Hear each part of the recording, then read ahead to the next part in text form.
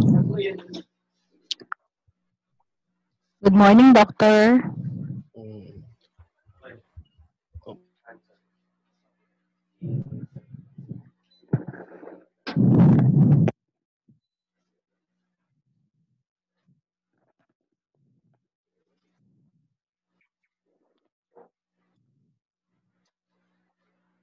Yes, ma'am. Very My apology if my pronounce uh, not really well.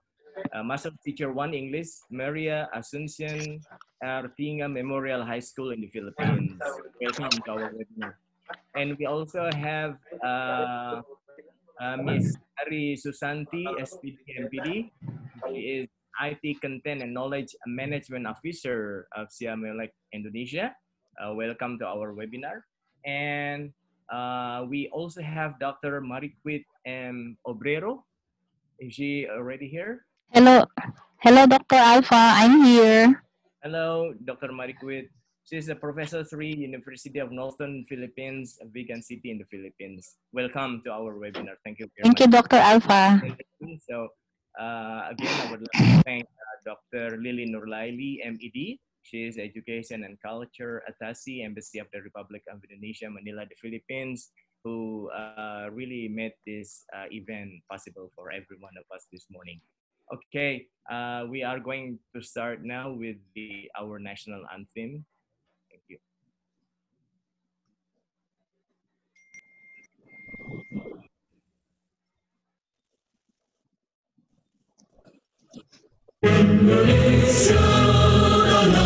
Hallelujah.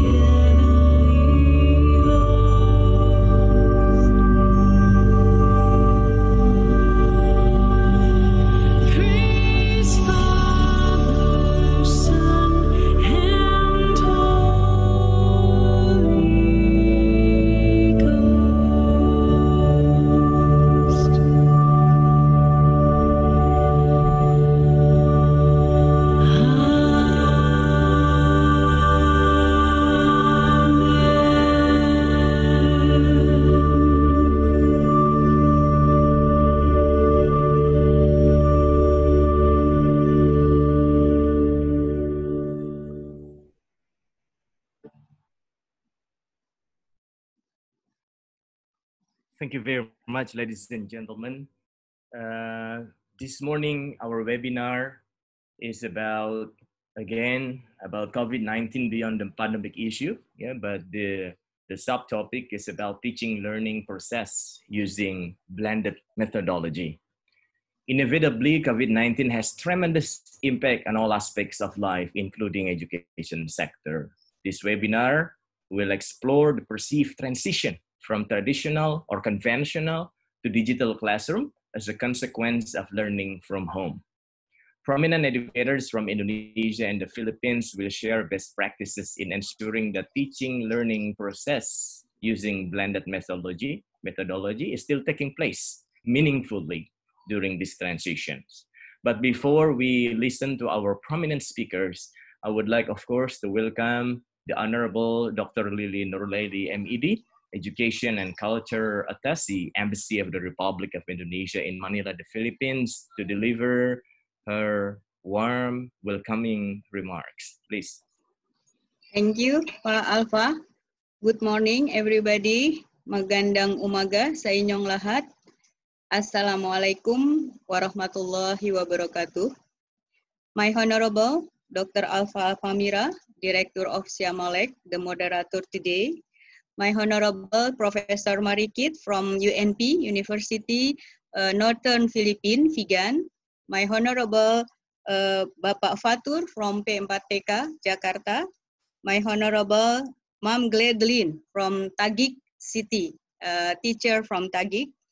Yang saya hormati, my Honorable Ibu Ari from Siamalek, and all of participants today, uh, until right now is 87. Thanks a lot uh, with the Muhammadiyah Dikdasmen. This webinar, international webinar, is uh, together cooperation, collaboration between Indonesian Atase, uh, Indonesian culture and education culture in uh, Indonesian embassy, I mean, uh, together with Dikdasmen Muhammadiyah. And then right now, I'm invite uh, several uh, speaker from Philippines and from Indonesia. This is the 10th time you are collaboration ya, Pak, Pak Alfa ya. 10 time of webinar uh, Dikdasmen. Okay, and then I hope this webinar today is valuable, interesting, and uh, especially not only for Indonesian student and teacher, but for Indonesian and student for Philippine. Thank you again. Dengan mengucapkan bismillah, saya buka webinar internasional hari ini. Bismillahirrohmanirrohim. Terima kasih, maraming maraming salamat.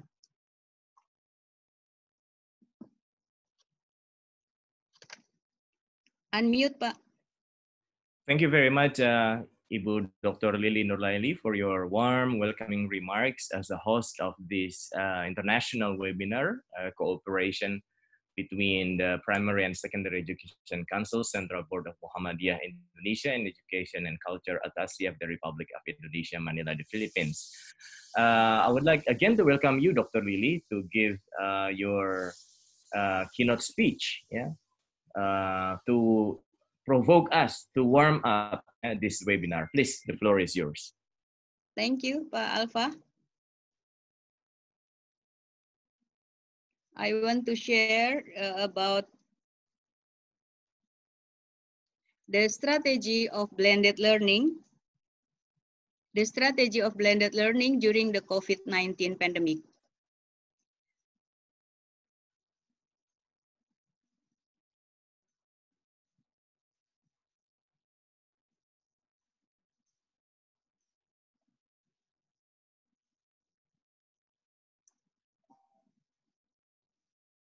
Moving classes online also poses an additional burden for teachers as they have to use technology in their learning method, a skill that many people lack. Germany, Norway, and Denmark have started adopting blended learning method to help host classes amid the pandemic. By conducting classes online and offline, school can run well during a pandemic. In Europe, limiting the number of students in one maximum of 10 until 15 students and holding face-to-face online learning alternately. During face-to-face learning in the classroom, students stay in small group. Classroom study time has also been shortened to prevent COVID-19 infection. This blended learning method is an effective learning method if student and teacher have the ability and experience in using technology. Implementing blended learning method in several countries carries on additional burden for teachers because they are expected to master two teaching methods, namely remotely and face-to-face. Teachers are expected to work even harder we have to prepare learning activities both online and offline in the classroom. These activities must be synchronous so that they do not overlap in achieving learning objectives. There are teachers who are able to apply this method because they have the skill to operate various technologies. But there are also teachers who don't really understand what online learning is, even mixed learning. Like it or not, teachers are required to be creative in using information technology.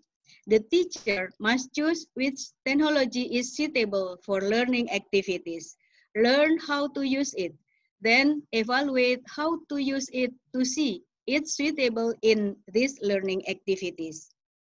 With the flexibility this method has in combining online and face-to-face -face learning we can build an education system that is not entirely internet-based, as we also consider a country's social, economic, and geographic context. Blended learning method will also open doors for emerging technologies in education sector, such as augmented reality and computing. Blended learning is the simple form of technology that we can start implementing. Parents must be able to transform and adapt first so that parents can become companion or mentors of change of their children at home. This pandemic period is an opportunity to make every parent aware that the burden of children education cannot be left solely to the teacher or lecturer. Learning is actually a process of changing one's attitude and behavior through a teaching and training effort. The role of teacher in this blended learning strategy first creating an atmosphere of free thinking so that students dare to explore in investigation and discoveries. Second, facilitators and research. Third is discussion partner in classification. And fourth, research advisor. One of the strategies can be used in the online method is the use of the personalized method in the discussion system. Teacher can provoke discussion and test student understanding through calling their names one by one. According to him, the discussion session is something that must be carried out in the online learning method. In the online method, the teacher provides a maximum of 30 minutes of material so that the student can stay focused. The remainder of the lesson should be done using the discussion method, either group discussion or group discussion. Online group division can be done with features in learning media such as Zoom, Google Classroom, and Microsoft Teams. Whatever online learning platform we will choose, it must consider the existing condition, abilities, and constraints, including infrastructure, human resources, capabilities, and student condition. The most important thing is to ensure the learning process during the pandemic period continues. Learning objective can be achieved using whatever online platform are available. Terima kasih, maraming maraming selamat. Selamat berwebinar. Wassalamualaikum warahmatullahi wabarakatuh. Waalaikumsalam. Thank you very much, Dr. Lily, for your uh, provoking presentations. I think uh, with uh, with your presentation, we are now warming up, yeah, to really uh, go into our discussion. So uh, the first speaker is the Honorable Dr. Fatur Rohim. I would like to welcome you to be the first speaker. Dr. Fatur Rohim is he's a director of Language Center of the Development and Enhancement of Teachers, Minister of Education and Culture, Republic of Indonesia. Dr. Fatur, the floor is yours to share with us your best practices in your center. Thank you. Thank you very much, Pak Alfa. Uh, uh, I think that Bu already comprehend the whole things related to the uh, remote learning and some strategies uh, in facing these pandemic situations. Uh, but maybe I would like to elaborate from our own uh, experience perspective, and hopefully that this is quite benefit beneficiary for all of us. Uh, Assalamualaikum warahmatullahi wabarakatuh. Assalamualaikum warahmatullahi wabarakatuh. Very good morning, ladies and gentlemen. And also, I should not fail to express our respect to the whole guest speakers here. Uh, let me to share my screen. Is it possible? Pak? Okay, thank you. Yeah, it should be possible. Yes, please.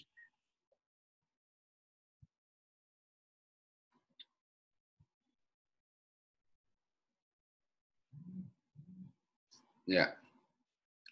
Uh, this is our experience uh, dealing with these pandemic situations. We are developing the some materials. We call it the package. Activity-based learning is our TNET. This is the this is the way how to engage our students in remote learning amid and beyond the pandemic situations.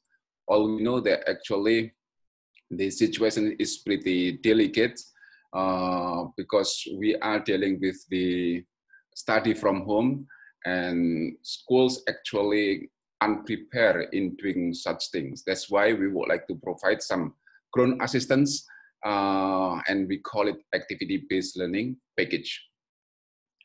Uh, this is the things that uh, become our highlight. Effective learning depends on the teacher's ability to maintain the interest that brings students to the course. So effective learning, uh, what is actually the effective learning? Effective learning defines that if we are able to maintain the students' interest, and actually this is really a challenge, a great challenge uh, in these situations. But teachers really uh, the key in making this turnaround story amid these beyond pandemic situations.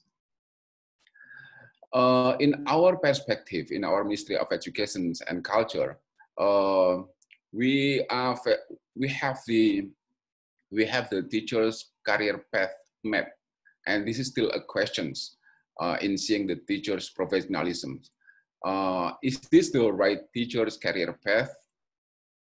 I'm talking about this because this is closely related to uh, teacher's activity. Is this the right teacher career path? Uh, starting from teacher as a subject uh, for uh, certain subject matters and then become the the supervisor of the certain classrooms and then the vice headmaster and the headmaster and then what next uh, is that the end of the career path of our teachers uh, in these situations uh, in this disruptive era in these disruptive situations actually we encourage teachers can develop any kind of uh, whatever that they want to be a writer, editor, trainer, photographer, storyteller, graphic designer, public speaker, even chef, athlete, videographer, educational games developer, and content creator. Maybe become YouTuber. That's also possible. And also copywriter. Those things actually can be the career path of our teachers, not mainly about these things. Uh, and uh, if you talk about the future of teachers, uh, we have this term, learning teachers, or this is coming from the Peter Senge, learning organizations. And now we would like to translate into learning teachers, guru belajar, guru merdeka belajar, who is actually the uh, the guru merdeka belajar or uh, learning teachers teachers who independently enhance their competencies, actively collaborate with others, and persistently develop their career based on their talents and career aspirations.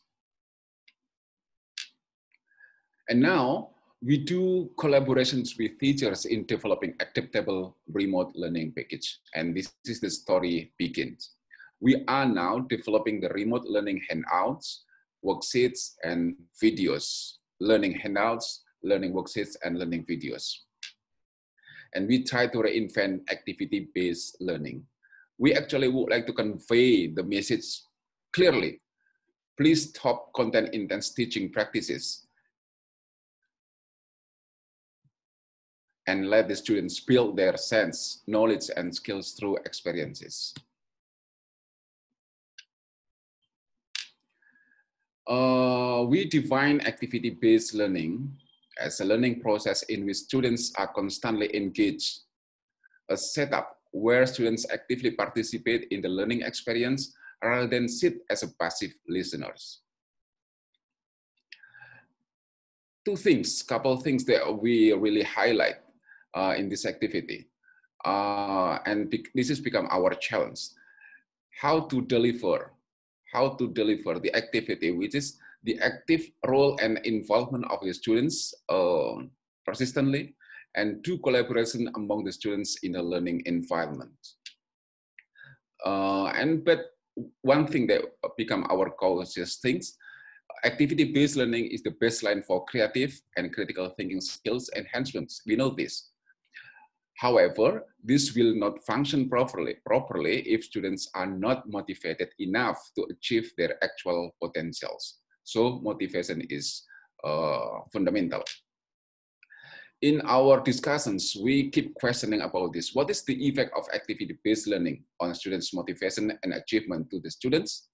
And we have uh, broad covered answers um, and come to the conclusions, we draw the conclusions that actually uh, activity-based learning is pretty meaningful to our students. Uh, the meaning of activity itself actually is the state of being active. Any specific uh, actions of a particular kind, a thing that a person or group is doing or has done, and an educational task that involves direct experience and participations of the students. Those are the meanings under the activity umbrella. And then we would like to broaden the term meaning of the activity-based learning, an activity or activities used in an educational process to make students learn. So learning is through and from the activities. The teacher incorporate activities of some type in teaching to make students learn.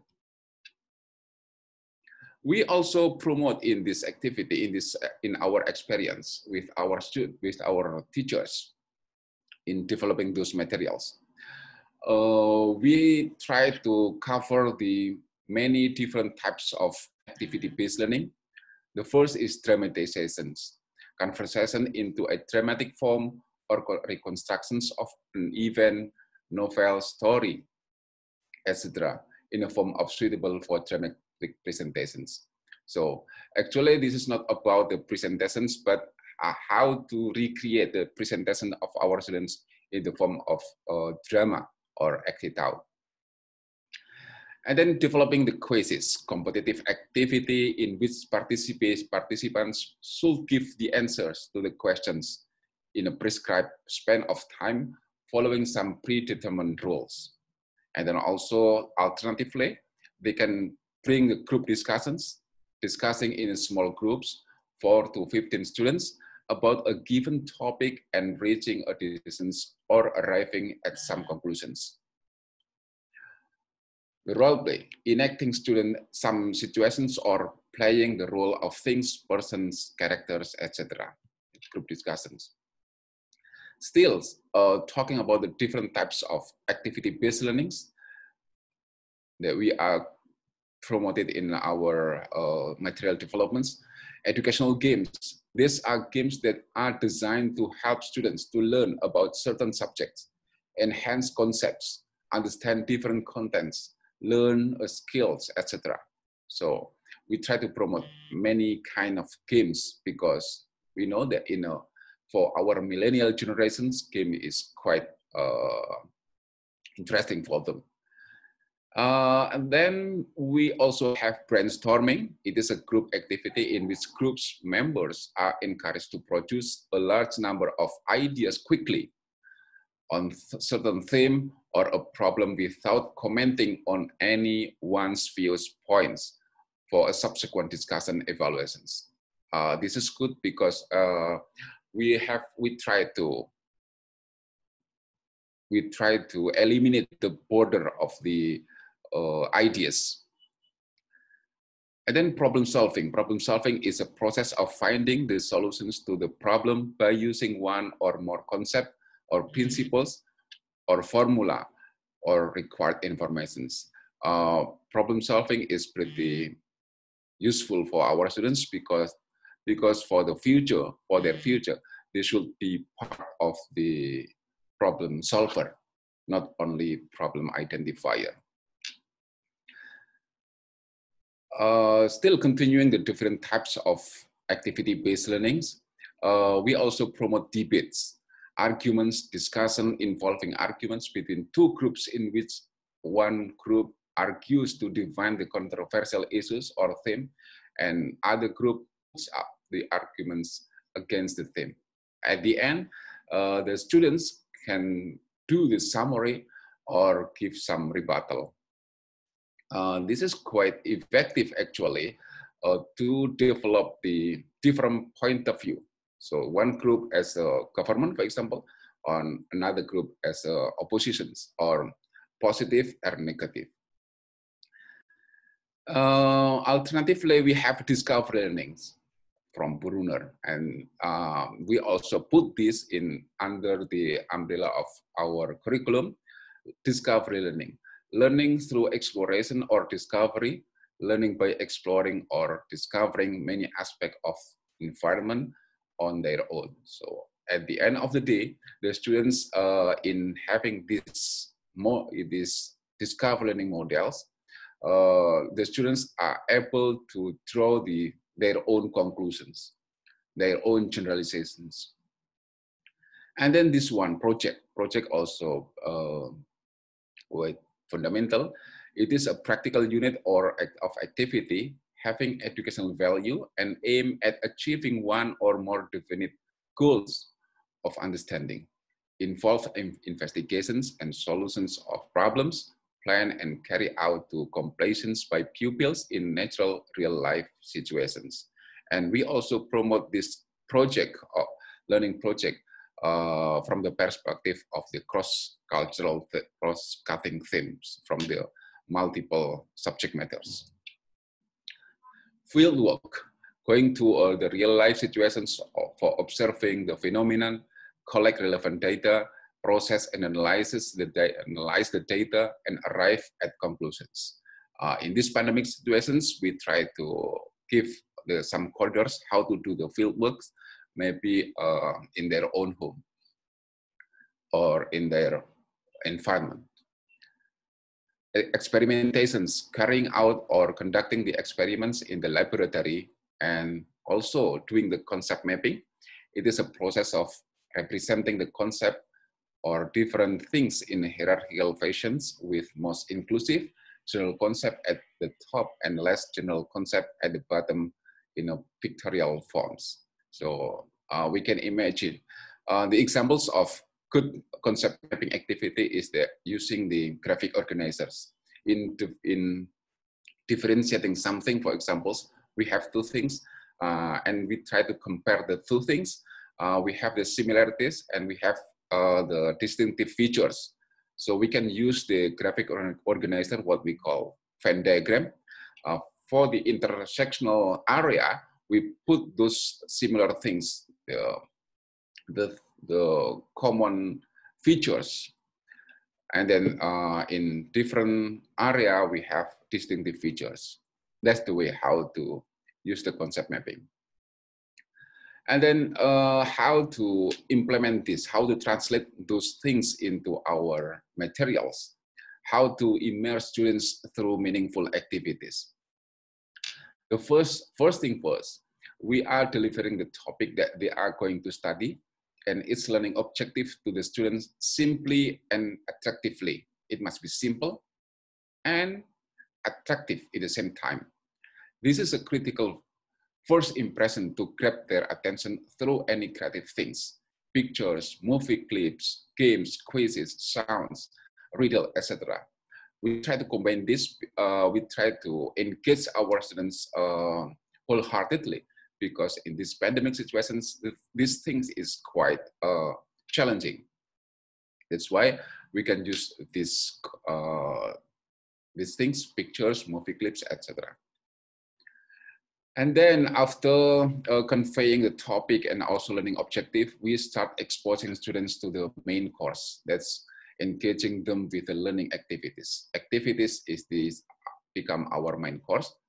The whole learning process are delivered through guided activities from the simple to the complex, from the easiest to the most difficult one, involving sense and physical responses. So uh, we can imagine like uh, in our we have the we have a movie for our kids, for example, like Dora Explore Dora the Explorer, for example. Uh, in the in the movie, we have we can we we have a we have a kind of explanation like a certain thing. Okay, jump, jump. Uh, we we did it, we did it. So that's a kind of uh, how to involve our sense and physical responses in developing students' understanding or concepts. Avoid teacher-centered presentations, one-way communications, and ask them to listen, write, read, speak, do, experiment, and many things. So activity is the bottom line. In delivering and doing the learning activities, instructional media are critical tools. So that's why we, we encourage our teachers to, to use realia, pictures, flashcards, movie, movie clips, and many things to engage the activities. And we also give the reminder in sharing a movie clip, for instance, we should provide the clear instructions first before watching the clips because uh, it commonly happens that uh, the teacher asks the students, okay, class, we have, okay, boys, girls, we have this movie. Please watch this movie. And then after that, uh, the, teachers give the instructions. I think this is quite hard for these situations. That's why we should provide the instruction first. Uh, the thing that the students should pay attention in the movie. It can be uh, giving general questions or driving questions. detailed questions or sim- simply asking them to do the note taking on a couple of things. And then uh, this is the thing that uh, we allow our students to give the explanations. As a wrap up, teacher could provide reinforcement to any critical concept by giving brief and concise explanation. This is big as a kind of wrap up activity. Explanations from the teachers is okay, but there's a kind of wrap up. Further readings are also essential to push them as independent learning. The exposed, exposed activities is only a stimuli to inspire them for more exploration and discovery. We imagine our students actually become the independent learner. They can study, they can learn further and further by himself. In terms of assessments, uh, we, we implement, we operate authentic assessments. In remote learning context, this situ- in these situations, we encourage teachers to involve parents in learning process and also doing the self-assessments. And then uh, as, a, as the things that, um, accountable things that for our assessments, we also ask our teachers to submit uh, students' works and also collecting deliverables in the form of portfolio. So the learning package of activity-based learning in the form of handouts, worksheets, and also videos are highlighted as follows. The first thing first, uh, delivering the topics, giving the topic interestingly, and then and then uh, conveying the learning objectives, and then the the first learning activities, second learning activities, third learning activities, and so on. The this is the things, the list of the learning activities that we have, and then wrap up and further readings and deliverables as our assessments. We also have reminders that uh, we give uh, consistently to our teachers in developing activity-based learning packages. Maslow before Bloom's. Uh, what does it mean?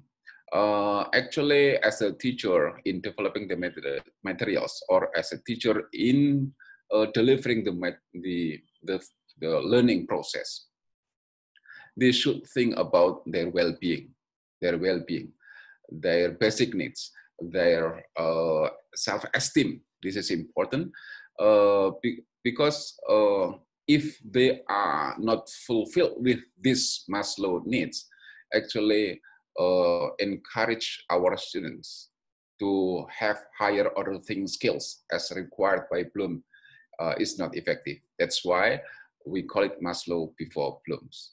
So how to how to carry on these things? Uh, we simply by asking them, have you uh, have a breakfast, or uh, you may take a water, or drink first before doing this. This is the way how to uh, how to implement them, this concept Maslow before Bloom's. And also we give some fillers, the words that kids love to hear. I love having you in my class, or I love having you uh, to study these subjects.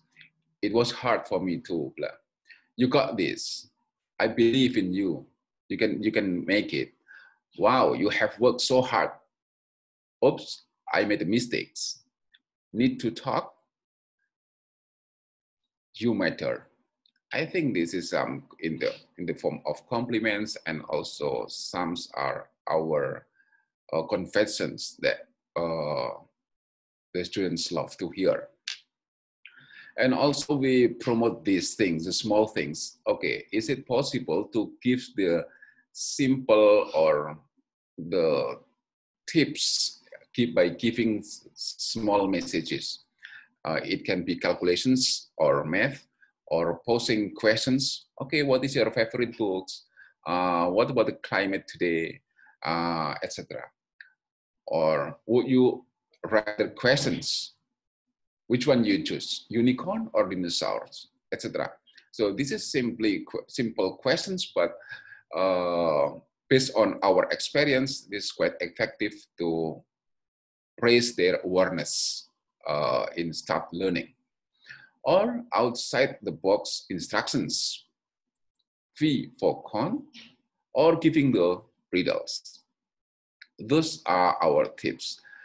Uh, and this is the things that uh, we promote in our materials using what, why, and how questioning strategies. So they become active participants in the problem solving process. Questioning, questioning, and questionings. Uh, we try to highlight questioning activities in our materials.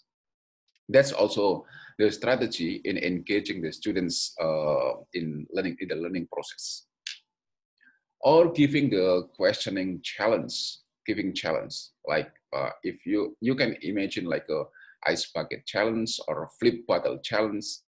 So questioning challenge uh, giving questions uh, and we circular these questions to the others. And this is quite interesting. Uh, in our in the in the field based on our experience this works well. Now I would like to highlight the sections of assessment in our materials. We have three, three things. The first one, the first section is related to reflections or self-assessments. And then uh, competence checks. This is about exercise. Uh, this is about, the, it can be questions or anything. And then uh, feedback. This is the feedback from the teachers imagine, ladies and gentlemen, that this is uh, remote learning materials. So we should think what actually pretty effective as our assessment process. Uh, okay, self-assessment is the basis, right? Self-assessment. But again, that self-assessment uh, is not really accountable. That's why we would like to check their self their self-assessment, their self-assessments by giving some activities. And then uh, now we would like to give the feedbacks, simply comparing comparing the self-assessment, their self-assessments, and the check. Right. Uh, this is the thing that I would like to share with uh, you. Uh, in terms of these sections, in checking their competence, checking their competence, we highlight uh, these things. Please do not use the multiple choice questions because multiple choice question for remote learning activities is not really effective. They can do Googling and so on and so forth. So uh, we try to encourage our, students, our teachers to do this for our uh, assessment, to do paraphrasing, asking the students to paraphrase by using their own language, doing the retelling story, giving opinions, reviewing, acting out, demonstrating certain things, certain certain performance, or reporting, figuring out, using graphic organizer and trans, graphic organizer transforming, this is the things that actually pretty meaningful for them uh, to see, to check their competence. So not mainly about multiple choice questions. And lastly, in these uh, slides, I would like to share some uh, some properties that we already have, we already had. Actually, we already put those materials in uh, Guru Belajar gurubelajar.go.id. Uh, this is the platform. And also we put those materials in Rumah Belajar. Uh, and uh, in certain occasions, we also have the schedules with our uh, national televisions because we have the educational challenge, uh, educational channel. Uh, and then the last things that we use local radio in delivering those materials. And this is the channels to promote those materials that we already developed with our teachers. Thank you very much for your attention. Assalamualaikum warahmatullahi wabarakatuh. Waalaikumsalam warahmatullahi wabarakatuh. Thank you very much, uh, Dr. Fatur Rohim, uh, for your presentation. Ladies and gentlemen, we have just learned from him uh, his interesting uh, presentations uh, with regard to the center's uh, best practices in applying activity-based learning. Uh, Dr. Rahim just mentioned, elaborated uh, edu games, brainstorming, problem solving, also even involves debates, yeah, and discovery learning and uh, project-based activities. And he also mentioned about certain dictions, certain uh, proper sentences to provoke students in the morning, for example. You know, I think that is really uh, coming from their best uh, practices. Thank you very much, Rohim, for your presentations. Now, I would like to come speaker, uh, Honorable uh, Dr. Mariquit M. Obrero, uh, Professor 3, University of Northern Philippines in Vigan City. I would like to welcome you, please, ma'am. Thank you. Good morning, Dr. Alfa. Good morning, Dr. Lily. First of all, I would like to thank everybody, especially Dr. Lily and Dr. Alfa for inviting me in this international webinar on blended learning. So I'm going to talk on, um, I will share my slide.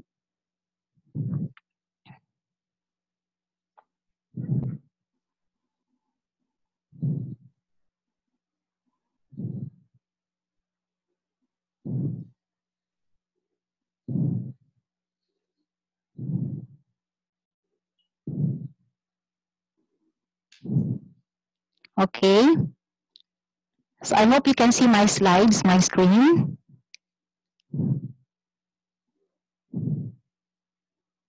Is it uh, visible now, Dr. Alpha? Ah, yes, thank you. Yes. So,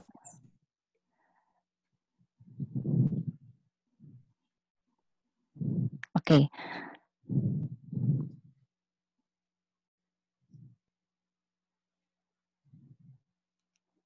Okay, so I'm going to talk on the teaching and learning process using blended learning. I am, of course, uh, Dr. Marikit Obrero, uh, a faculty of physics in the, at the College of Arts and Sciences, University of Northern Philippines, Vigan City. Um, as we all know, blended learning is a learning Wait, somebody. A learning modality in which there is a combination of internet and digital digital media with face-to-face or physical co-presence of teacher and students that was uh, defined by Graham in 2013. So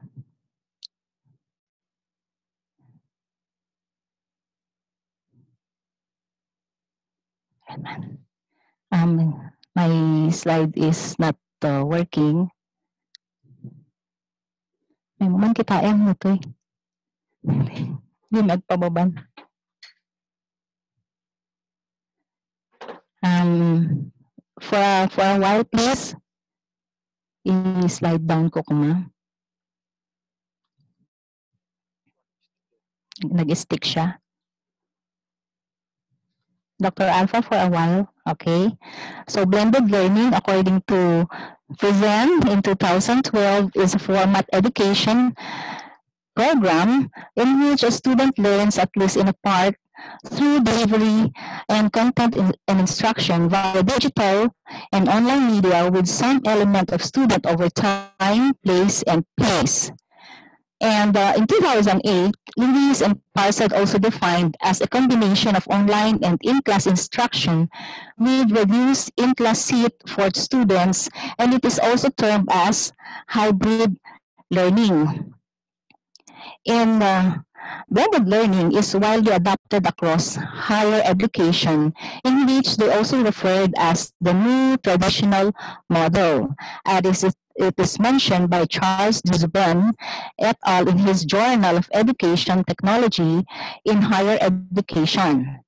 So because of its flexibility, it allows us to maximize many positive education functions.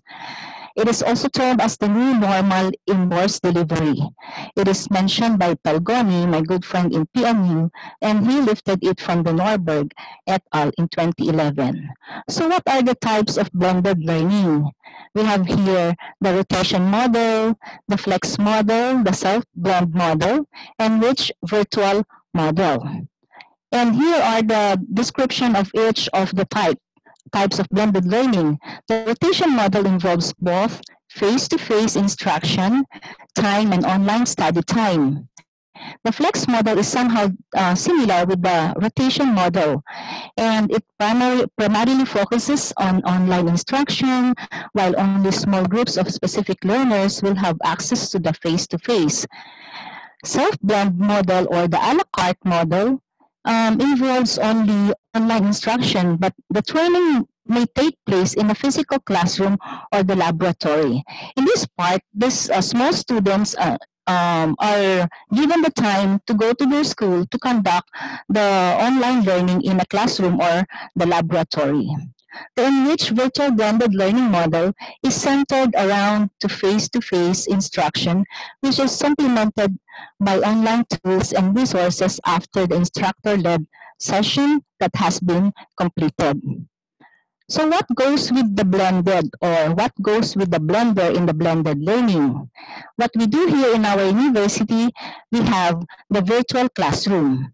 We do not have blended learning because we are guided, we do not have face-to-face uh, um, classroom instruction yet because we are guided by the Commission on Higher Education Memorandum, which prohibits students uh, to come to the students. So it also goes with webinars, the links to YouTube's simulations, assessment, and one-on-one coaching. And also we have blended learning is made possible with virtual classrooms through the use of learning management system. So what are these learning management system? Learning management system is a software applicable for the administration, documentation, tracking, reporting, automation, and delivery of educational courses, training programs, or learning and development programs. Here in our university, particularly in my class, I use the Google Classroom. And the Google Classroom, uh, it is there where I put all the activities of my students, even the quizzes, which I open only during the time of quiz. Some faculty members also use the Moodle, the Edmodo, and the Schoology. Another um, aspect that we have, another thing that we have in a blended learning is webinar. That's uh, just like with what we are doing right now. And we also have links. We link um, this, uh, give the links to the students for them to view for their online lessons. Then simulations. We also use simulations, especially in our um, laboratory classes. In the physics class, we use the PhET or the physics education for simulations. And what about the assessment? Dr. Alfa, um, Dr. Fatur also made mention on the assessments on online learning. And um, here in our university, we also make assessments, especially, we also do assessments, especially on performance-based assessments, which they also do at home and which they also do online. And then we also have one-on-one coaching through uh, phone calls or through um, Facebook Messenger calls or Facebook chats. So in blended learning, the use of self-learning module or, or self-learning kits are very important or very useful. The self-learning modules are, of course, the kits or materials that provide for individualized and self-paced learning through carefully structured lessons that students complete even in the absence of a teacher or facilitator. And uh, it is an innovative supplementary learning resource at, as uh, what it is mentioned in the uh, Division of uh, the Department of Education Division Memorandum. It is originally made by the, the, the, the teacher or the instructor, modified or contextualized to meet the standards of the K-12 curriculum in the Philippines. And these teacher-made self-learning modules can be sent through the Google Classroom or any other platforms the school is using. These are activities and experiments and that can be performed by students using, uh, it may be in digital or in print forms. Drills and exercises are also included in these self-learning modules, instructional videos, audio recordings, online and offline quizzes, handouts, and learning guides. And these self-learning modules will train students to become critical thinker, reflective thinker, independent in learning, and become more responsible in their individual learning. I particularly use the seven E's of constructivism in um, teaching, in my learning, in teaching and learning process in physics. I have here an example of the seven E's of constructivism that I use in my class, and I will show it later. And what are the seven E's included in this uh, module? We have the first is elicit. In the elicit part, the students come to the class. Uh, the students are are given questions to to answer based from their prior knowledge. After which they are engaged with different activities like um, like uh, an uh, an interview with the the people around, or engage in a certain video or um, a link, and then they explore given um, tasks to do to synthesize the video or synthesize the clip. And then the teacher will ask to explain, will ask the explain the, the student to explain the the movie they watched, for example. And then after which the teacher will do elaboration or elaborate. And then they will be given formative exams or summative, summative exams in the evaluation part and the, extent part that will be the time that they are going to reflect on what they have learned in the 7 E's module or 7 E's learning guide using constructivism.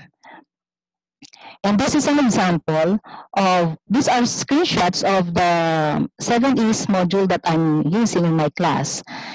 Um, I made the screenshots only so that it can um, be, it can fit in one slide. Now, online learning can be done synchronously and asynchronously. We are doing here in our uh, in my classes, I do it synchronously and asynchronously. For the one week, for the two meetings we ha- we conduct in one week, one day will be synchronous and another day or another meeting will be done asynchronously. I particularly use that uh, mod- modality. So what is synchronous and asynchronous learning? In synchronous learning, it is delivered in a specific place at a specific time to all students. The benefit is immediate feedback and interaction. The drawback is that it's flexible and it may not address individual preferences.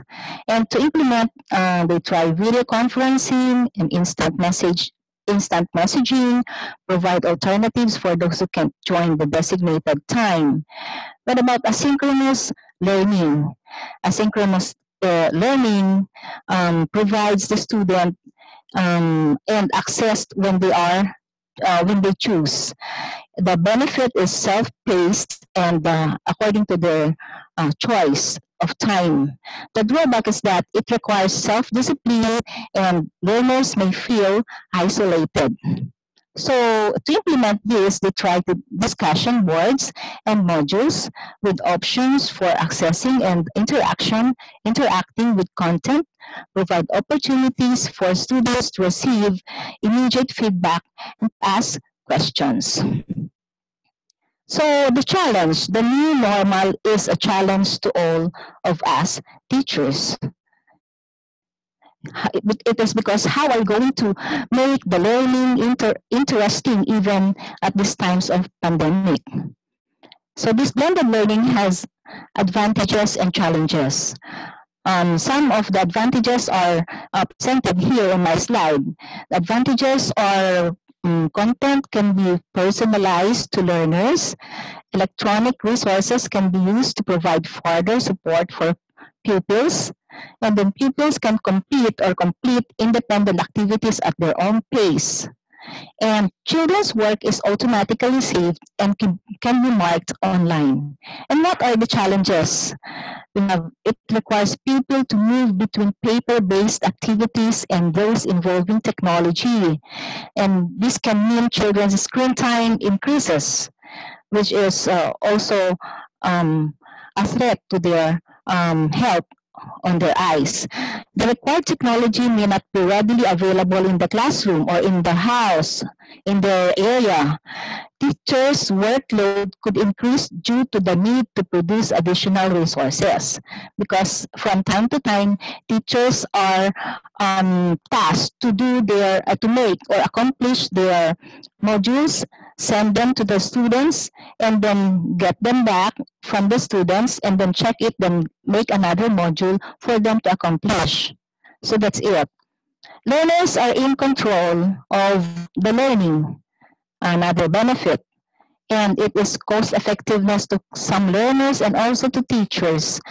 It provides personalized um, learning experience to students and consistency in teaching because they are guided already with a module or self self learning material or kit. And data tracking is more convenient for the teachers. Now again the challenges is that the management how are going to manage this learning how are going to motivate the students to learn even at this times at this time of pandemic to learn even at their houses. So we have to make the module interesting, to have to make the module um, um, presentable for them to open it and to answer and to read it. Managing and monitoring students' progress. The learners don't take learning seriously. Some of the learners don't take learning seriously. That is why some of the parents do the modules instead of the learners themselves, resisting the use of technology by the learners, not just because of they resist to use the the the the module to use uh, internet be- because of the lack of internet also. And looking how to teach not what to teach on the part of the teacher other benefits to learners are the learning environment responds to each student's needs and interest, supports students beyond the school, the school by with resources, and then there is flexible in scheduling, control over pace, variety of experiences using the the online learning and using the the module, personalized learning, and the use of technology and facilitate a simultaneous independent and collaborative learning experience. Of course, um, the use of module will always be um, will always be successful on the part of the students or the pupils with the guidance of their parents or their guardians. Now, what are the benefits to educators, to us educators? It increase success. Different modalities to meet more students' need. There are different modalities to meet um, more students' needs um, through phone, uh, phone calls and group chats or messaging. You can always ask the student what are the what are his needs in a particular um, module or in a, in a particular task. Cost and saving optimizing resources, scale, speed, and throughout throughout uh, it offers flexibility to retain core competencies and balance demands. So clients or stud- clients' budgets and time availability. What about the budget of the parents? Um, sometimes the parents cannot afford to have these printed modules. That is why um, the Department of Education give or distribute this module for free or modules or learning materials for free.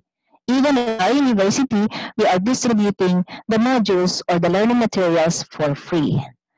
So teacher from the race, um, teacher is free from the race of the bell, the ringing of the bell. Lessons begin in class and continue online. Um, and differentiation that meets the needs of the individual students, so extends the communication channels between home and schools. Those are the different benefits for educators. So how or what do we do to keep online learning interesting amidst this pandemic? And how to are we going to motivate students? So break down the lesson and make it digestible, and so it will it will not be um, monotonous for the students. Adapt in-class activities to the virtual classroom, and make your students feel valued. Set your goals and help students stick to them. Use technology to your advantage and to the advantage of the students or the pupils. And present your best in your online classes. You have to dress up yourself as the teacher during online classes and see to it that there are no disturbances um, during your online at your back, especially. Bring fun into the classroom even on online classes. You have to ask them um, questions. You have to ask, um, chat to them, ask them how they feel right now, ask them how um, they are doing in their home with their parents, and be patient with your students. Always be patient with your pupils or your students. Max, um, exercise maximum tolerance. Now, according to to Einstein, education is not the learning of facts, but the training of the mind to think. So even in this time of pandemic, we are tasked to educate the students as um, um, far as we could, whatever uh, whatever means do we have, we have to make use of our resources, maximum um, uh, use of our resources. Sometimes, if the student uh, in my class, sometimes if this, my student do not have um, money for do not have money for for the data because we in the, here in the Philippines we use um, data for loading for the globe or the smart telecommunication. So sometimes we give them money through the GCash to for them to be able to connect for the internet. And that is uh, one way of helping the students to avoid um, uh, also depression from them. So that's it. Um, we have to, as um, as um, last uh, part of my slide of my talk, we have to stay positive even in this uh, midst of virtual learning. And always remember that learning together, even when we're apart, is very important. Thank you very much for listening. Thank you very much, Dr. Uh, Mariquit and Albero, for your very uh, insightful presentations. And we believe that this derives from your personal teaching experience, I believe. And we, uh, Indonesian educators, are very glad to uh, uh, to hear uh, from your from our uh, Filipinos counterpart you know, with regard to this. Thank you very much, uh, Dr. Mariquit. I think we are going to explore Welcome. more uh, during the discussion later. Yeah? Thank you. So uh, the next speakers, I would like to uh, welcome Ms. Ari Susanti. Uh, she is um, IT content officer from SEAMOLEC Indonesia. We'll also share uh, the institution's best experiences in regard to remote learning or distance learning using uh, blended methodology. Ms. Ari, please, the floor is yours. Okay, thank you, Pa Alfa, for the time. Uh, good morning to all the participants. Uh, on behalf of SEAMOLEC, I would like to extend my uh, gratitude to all you and welcome to this webinar. Well, okay, I would like to share my screen first. Okay. Okay, uh, since um, I representing of SEAMOLEC, which is the centers of uh, distance learning. We focus on distance learning. So maybe it's like, uh, I would like to share with you, uh, especially for the teachers, how to break down, how to drafting the learning uh, design for your uh, students, not only because for the pandemics or maybe in the next uh, part of the, or the next situation again. Okay, this is uh, what we're going to discuss today. What's the distant learnings and what is the uh, blended learnings uh, correlation and how is the learning process uh, in the blended learnings uh, for this uh, case is for the distance learning and how to design the learning activities. Okay, if you can see here, the what we have here, the existing learning process is already here. Okay, I would like to. The, the learning process is already here. And then uh, when we trying, because the sum of the circumstances or the conditions, uh, since the teacher and the student are not able to see each other in one place, so the, the learning process is shifting to the learning, distance learning. But what we have here, the, the when even on a distance learning, we have the same main components of instructionals.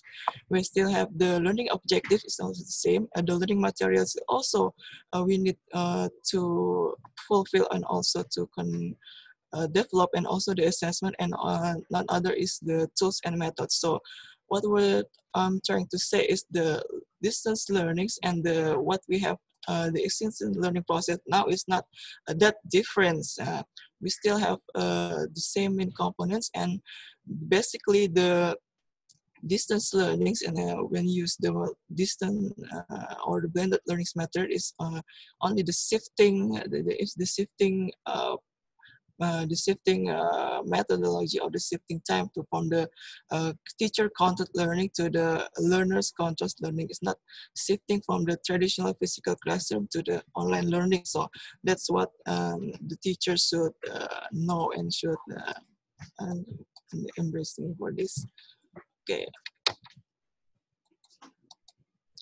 Okay, when we see the delivery systems here, for as we know, the distance learnings is uh, we know like the most of the contents materials of the distance is delivered in through the online learning, the online uh, tools, or maybe using the learning material, uh, learning management system, or maybe another um, uh, another application to deliver the content material. So uh, when you start, when you contents on the learning material is delivery um, between the 30 and up to 79%, it, it can be able to blended learning.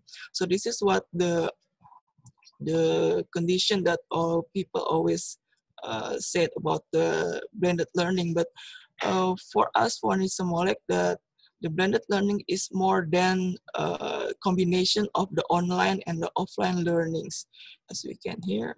Okay. So when we see the, the learning process and the blended learning, we have two, uh, two uh, way to, to deliver the learning process. First, the self-learning and then the assisted learning. They should uh, we, we put the online learning and the offline learning uh, set, but we have to uh, take this part in the front first. Yeah, we have to know that the uh, self-learning is the learning that initiated by the student self, and then the assisted learning is the learning that uh, assisted by the teachers or maybe lecturers or maybe instructors or tutors. That's that's what the, the learning process we have to divide it into into time and this two kind of uh, part of learning uh, process we should put in the first uh, when we try to design the blended learnings. We have to know which part that the student able to learn by themselves and in which part of the student that uh, they need the, the, the teacher or they need the lecturers to assist them to learnings. And then the self-learning itself is also the, divided into the online learning and offline learnings as well. So the online learning when the uh, self-learning uh, in the online learning part, uh, it can be managed or can be conducted by using the learning management system uh, whatever the application name. You can uh, uh, use the Moodle, you can use the Google Classroom or other application. And then the uh, offline part of the self-learning, you can use the self-learning materials you know, like the modules or printed modules or maybe another digital resources like uh, television or radio and uh, video that you can play without any internet connection. This also can provide the uh, the student which is on the remote area and also they cannot be able to access the online learning. So when you, uh, as a teacher or uh, as a lecturer to conduct the learning process uh, in the blended learnings, especially in this uh, condition, the pandemic condition, you should have to uh, draft your uh, learning or draft your course into the, the these, these two part, uh, the learning and the assisted learning. The assisted learning also uh, can be delivered or conducted in online and offline. with online is using the video conference like this, and the offline is face to face, maybe for the certain uh, competencies that or certain skill that should be performed by the student they have to perform it and we cannot conduct it in the offline. We should uh, guide him or assist the student in the face-to-face uh, uh, session like that. And then uh, we also using the the communication here the communication through the text messaging or discussion forum uh, is to to support the the learning uh, process. We call it like a learning support system. Learning support system. When we uh, when we are design our learning become blended, which is the distance learning versus which is the student cannot meet the their teacher or lecturers uh, at the same time or maybe uh, uh, at the at the same time like they used to be. They, we have to provide the we call it like a, a support system yeah learning support system missing support system is when the students already like they meet the obstacle maybe they meet trouble like that the students know where where where they have to um, see order to contact like that. So this is uh, what we should uh, draft over before we design our uh, our learning and then uh, this is uh, some of the learning activities that can be applied in the blended learning maybe. Uh, first, uh, the first is the pre-class and the and then uh, face-to-face class. So uh, we conduct the pre-class at the online, maybe using the learning management system like that, and then we conduct the face-to-face class. The pre-class it can be able to maybe we can set as assignment time, and then when we meet the students, uh, we can make the review based on what the, they have submitted in the in the pre-class session. These uh, learning activities uh, able to bring maybe we can mapping our student condition maybe we can mapping our student uh, absorbs absorbing the information of the learning. Uh, so we can know when when we have when we conduct the face-to-face class we already know uh, uh the, the students uh, mapping about the, their competency and their uh, knowledge achievement like that and then uh, it's also to prepare the students more prepare the students. So when they come to the class they already have uh, something on their heads or maybe on their mind to about this the subjects or, or the course they, they were uh, accept on their their student their teacher or the lecturer. So it will uh, reduce the the time of the or the time in face-to-face classroom or maybe it also can be the effective way to to the to in face-to-face classroom. And then the number two learning is like uh, a face-to-face class then and the independent activity is through the online. Uh, and then maybe uh, for this example, maybe we can uh, like integrate the the methodology or the models like project-based learning at the face-to-face class. We uh, explain to the student we can deliver it to the student that what we're going to do in this about this subject what what we're going to have the project introduction maybe we can make a plan or something like that. And then after the face-to-face class the the the student able to working by themselves independently or maybe they can working on the groups uh, independent, independently as a and as the teacher can they can be a project assistant and the monitoring and progress check about the uh, about the the learning progress. And then for the, the next three the, the three models is about the, the pre-assessment, the F2 class, and the post-assessments also can be conducted uh, maybe to to more like uh, uh, to mapping the student before and after the class and also put the put them on the, the independence learnings more than this is the uh, learning activities that maybe we can uh, conduct uh, in the our class. And then okay, before we decided which uh, activity or which uh, uh, model or which uh, kind of uh, uh, decided uh, to implement in our class or our subject, we have to identification our learner first. Yes, first we have to know the how the student characteristic, whether they are the more motivated, uh, highly motivated students, or maybe there there might be some like un, un, unmotivated students like that, or maybe they have the different learning styles. Some of them likes to uh, watching the videos, something like that, and maybe most of uh, some of them like uh, use le- have to uh, doing something so they can understand about the course the subject or maybe they have to listen more or something like that. So we have to know our student characteristic first. Uh, so with this student characters uh, mapping or something you know so we can decide it which kind of part which kind of style that we're going to design to our learnings.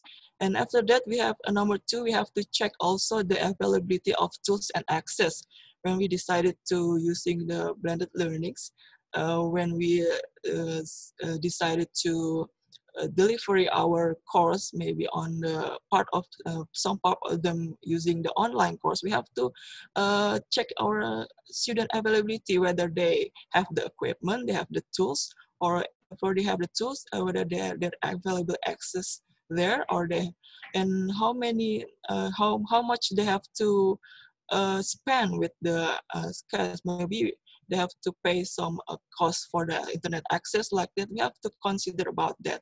So when we uh, identification the availability of this access also it it it it, it will uh, easier for us to to deliver the the, con- the the course or the content like that.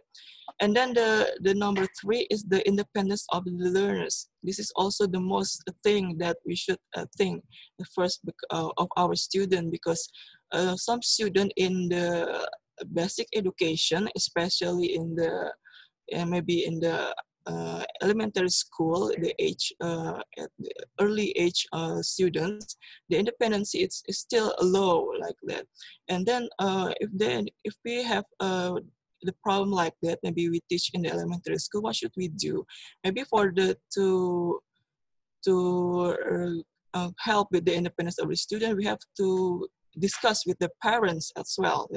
How how the the learning will be going, how the learning will be conducting as well and also when the students in the maybe on the already in the junior high school or high school or even in the uh, university or like that the independence uh, learning is, is is more they they they already more the independence of learnings. That, that's why uh, we have to be more like uh, suitable. We select the the content materials that are available to for them to to do because the when we learning and the distance learning we cannot control them all the time right?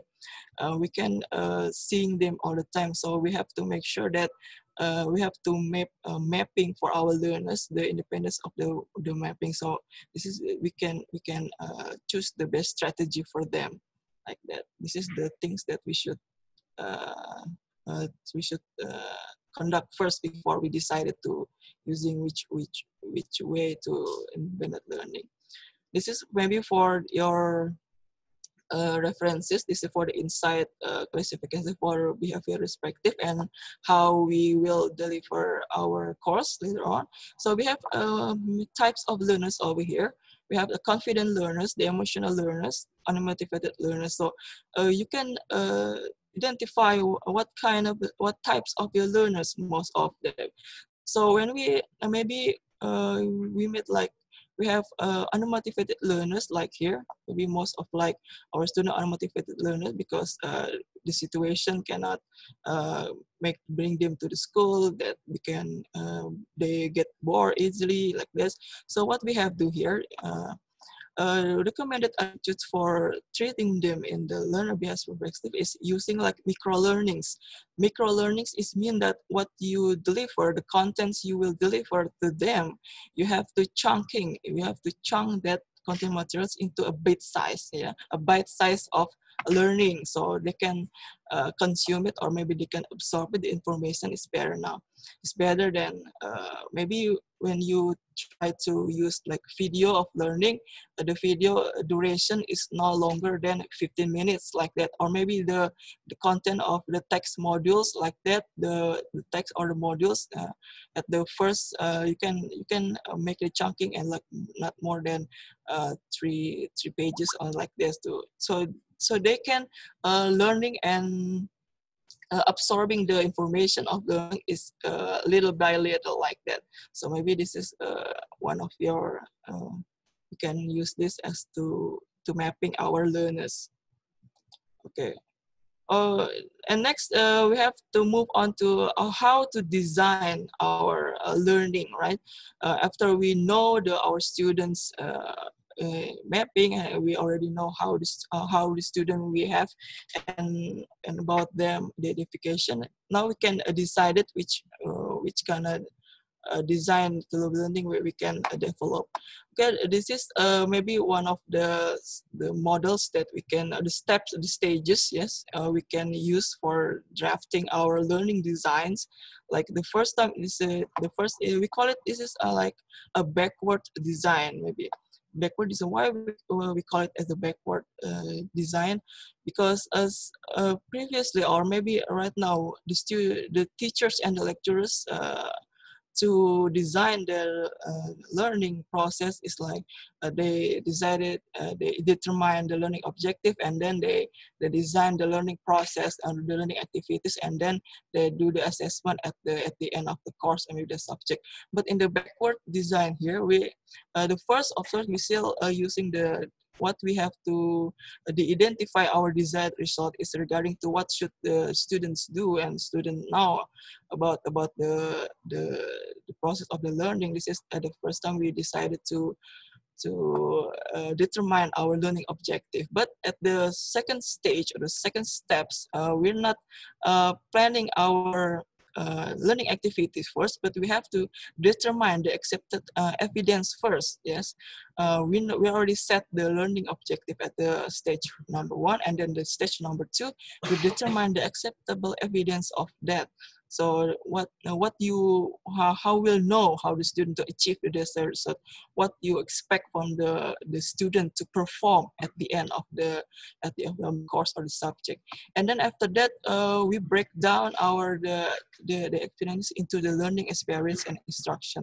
So we can uh, set our design. You can set our lesson plan to the most appropriate instructional activities. Of course, we have to move from the uh, whether we have to move from the knowledge and the skill or maybe we can move from the skill of the knowledge we consider about this also. So this is the steps. I will show you how to uh, drafting this learning design uh, using these stages later on okay? Okay this is uh, maybe uh, the, the example what we have uh, the stages how the learning how to design our learning uh, learning. Okay the first time uh, identify the desired result. Yes one. Uh, for my example is uh, i would like to the students able to make the spicy fried rice. This is the the learning objective of my course maybe. You can say that like that. Uh, we have uh, determined our uh, learning objective here. The student already make it to the spicy red rice. This the this concludes to the first step the desired result. Yes and then at the stage number two, we have to determine the acceptable evidence. For my learning objective, we have to set the assessment criteria. In my case, this is for in my example here, we have the assessment criteria. First, we have to uh, spicy and fried rice. So uh, we hope like the expect the students to able to uh, to present their their fried rice as a as a as their their end their final assessment like that too, as we count as the the the achievement of their objectives. And then like number three, uh, we already have set this assessment criteria for my case here. Uh, and then number three is a plan the learning experience in structure. Uh, we should break down our uh, competency here, our learning objective here. Uh, which uh, which part of like we breaking down, or maybe we can build a, a scaffolding the the the skill or the the the from the knowledge or maybe on the skill. Since the my example here, the students are able to make it mean like there's the skill competencies that we need there to perform. So I started to to break it down into the the, the highest level of the competencies first. Uh, of course, uh, you can uh, reference to from the Bloom taxonomy, of course. The first line, uh, I would like to my students to demonstrate how the cooking process. And then uh, before they have to demonstrate the cooking process, they also have to describe how the cooking process, right? And before they know how to the procedure of the cooking process, uh, I want the students to identify first the cook uh, equipment and also identify the ingredients. So this is why uh, how to break down the into competence into into the into learning. So this is this uh, uh, these competencies or maybe this uh, objective are able and and after that we can uh, choose the suitable way to them to uh, accomplish this assessment. Okay, after we break down it into several uh, competencies here, we make like this. Uh, we can divide it uh, from the competencies first. We can uh, state maybe a topic first, like this ingredient, and topic two, and topic three, and then we have to set the learning experience. What the kind of learning experience that they they should experiencing. For me, for the because the first competence only to identify, so I will only give them the reading, the reading materials, uh, that which is the text with the illustration because they have to know what the ingredients to to make the fried rice, right?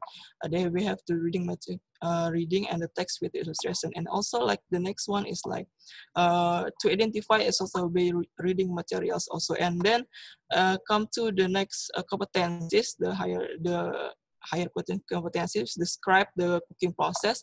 Uh, we going to give them like the watching the demonstration videos for that. And then the final the final competencies is like because we want him them to uh, able to do and able to cook. Uh, the skill is like uh, on like uh, they have to present, uh, they have to perform how to cook and how to present the, the fried rice, right? So we have to, uh, we ask them to do, and then uh, learning experience like a practicing like this. So when we uh, set this learning experience, we also have to uh, planning our how the material is material learning material will be uh, produced like that. Maybe the learning of the text lists we can use like modules like that, and maybe for the the, the video we can use the video uh, tutorials like that, and then we practicing we can use like maybe in the laboratorium. So uh, when we set uh, the learning uh, learning experience, we also can reference to this learning pyramids. This is for the Edgar Dale.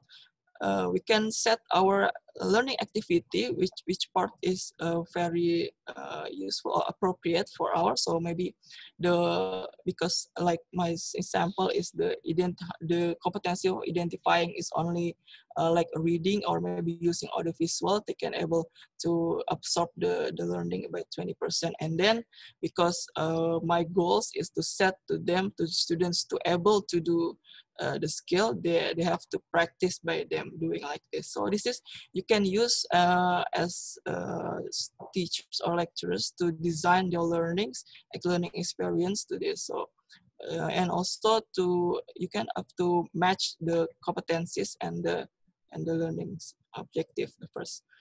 And then we move on to the the next is after we uh, set the learning experience we also have to set the assessment process like this. So when we come to the first competence it is only identifying and then we provide them with the uh, reading text only with with illustration what kind of assessment uh, we can uh, conduct or we can give to them using this the uh, to accomplish these competencies maybe this is for example i put them on a quiz like this and also for identify quiz and then to describe maybe it's like a test like this so because this is the important things uh, the part of the this uh, learning of the, the course and then after that uh, since it's uh, we ask them to practice or maybe to perform then we the, the assessment is like performance assessment like this. And we also have to set the delivery system like that. So maybe when we, uh, the competence is only identifying, identifying like this, uh, we can use the uh, online uh, using the learning management system. We can uh, set this uh, so the students able to learn by themselves, uh, self-learnings, self-learning using the self-learning materials like this, and we and we combine it with the face-to-face on the laboratory. This is so uh, the the face-to-face uh, session is only at the end of the end of the the competencies like this. So this is always can be uh, drafting the and also if you want to combine more than uh, only deciding for the blended learning it's like maybe you could combine it to the project-based learning of course there's the suggest I suggest about this this following these seven steps. Maybe at the first time we can uh, designing the project them at the first yeah in the face-to-face classroom. We can meet them. We can uh, giving them to delivery how to this this learning will be uh, running, and then after that let the students uh, learn by themselves through the LMS like this, uploading material, and then we can combine it the online discussion using the web conference like this for monitoring and progress checking yeah, progress checking. And then uh, after that, we let the students again to work by themselves, uh, learn by themselves through the LMS. And then uh, we have to check them also monitoring and progress check uh, using uh, hands-on practicing or maybe on uh, laboratory is using the face-to-face uh, they can see with it and then after that we can assess the outcome by uh, face-to-face assessment. And then uh, we can meet the evaluate and experience you can using the face-to-face classroom or maybe we can share it using the like video conference like this. So this is the design that maybe can make your uh, can be suggested for you to design how the learning progress in one in one competencies like that. So this is the part of this. Maybe you can um, uh, adopt this and maybe as a references like that. Or well as the final conclusion that uh, one size does uh, does not fit to all. So uh, what why what I have presented here maybe is not uh, that all fit to all the, the cases on your cases on your own students. So that's why uh, we have to make the learner identification first, and then we have to know how the students are ready or not to have the independence of learnings before we decided to uh, to select blended learning as the learning methods. Maybe that's uh, what my presentation. Uh, thank you for listening and thank you very much.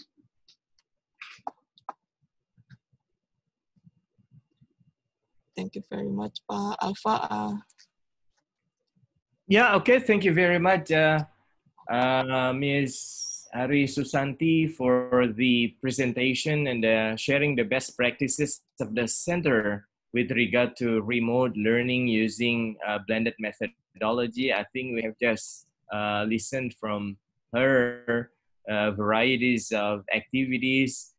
Uh, also, before that, the concept, uh, the basic concept of um, remote learning using blended methodology.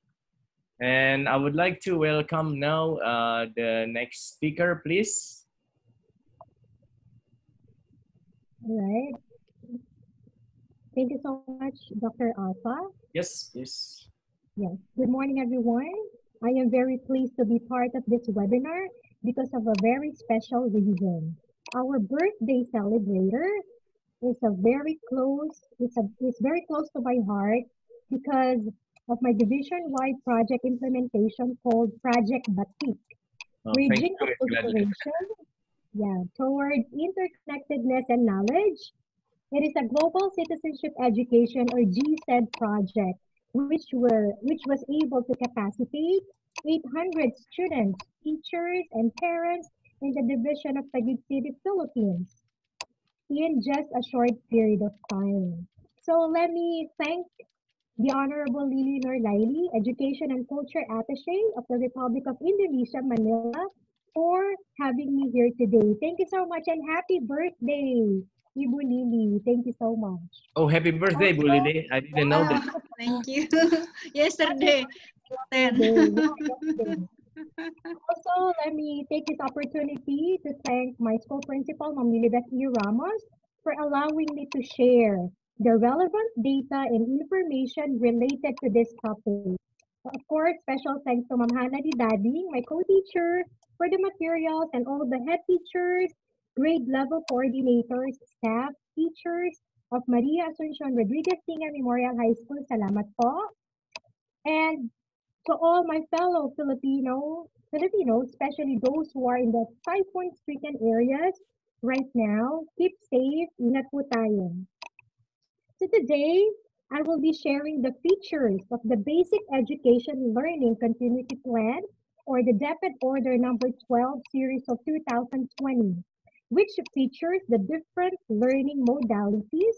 And of course, I will also be sharing with you the contextualized Basic Education Learning Continuity Plan of the Division of Taguig City and Pateros, particularly my school, Maria Asuncion Rodriguez Tinga Memorial High School. So uh, may I request our moderator to please uh, screen share my presentation because uh, you know here in the Philippines right now we have Typhoon Ulysses and we are having difficulties with internet connectivity. May I request our great moderator to please screen share my presentation?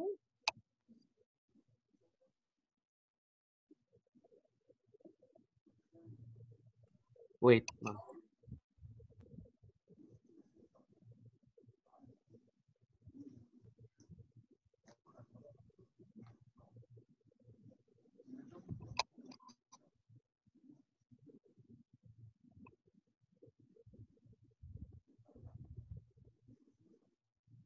I hope everyone is doing great despite the bad weather here in the Philippines. Um, uh, Typhoon Ulysses is quite strong and we're having difficulties in uh, internet connectivity and as well as electricity. All right, so like what I've mentioned, I'll be sharing with you the contextualized uh, learn, basic lear, education learning continuity plan of my school. So now, now let's go to the first slide.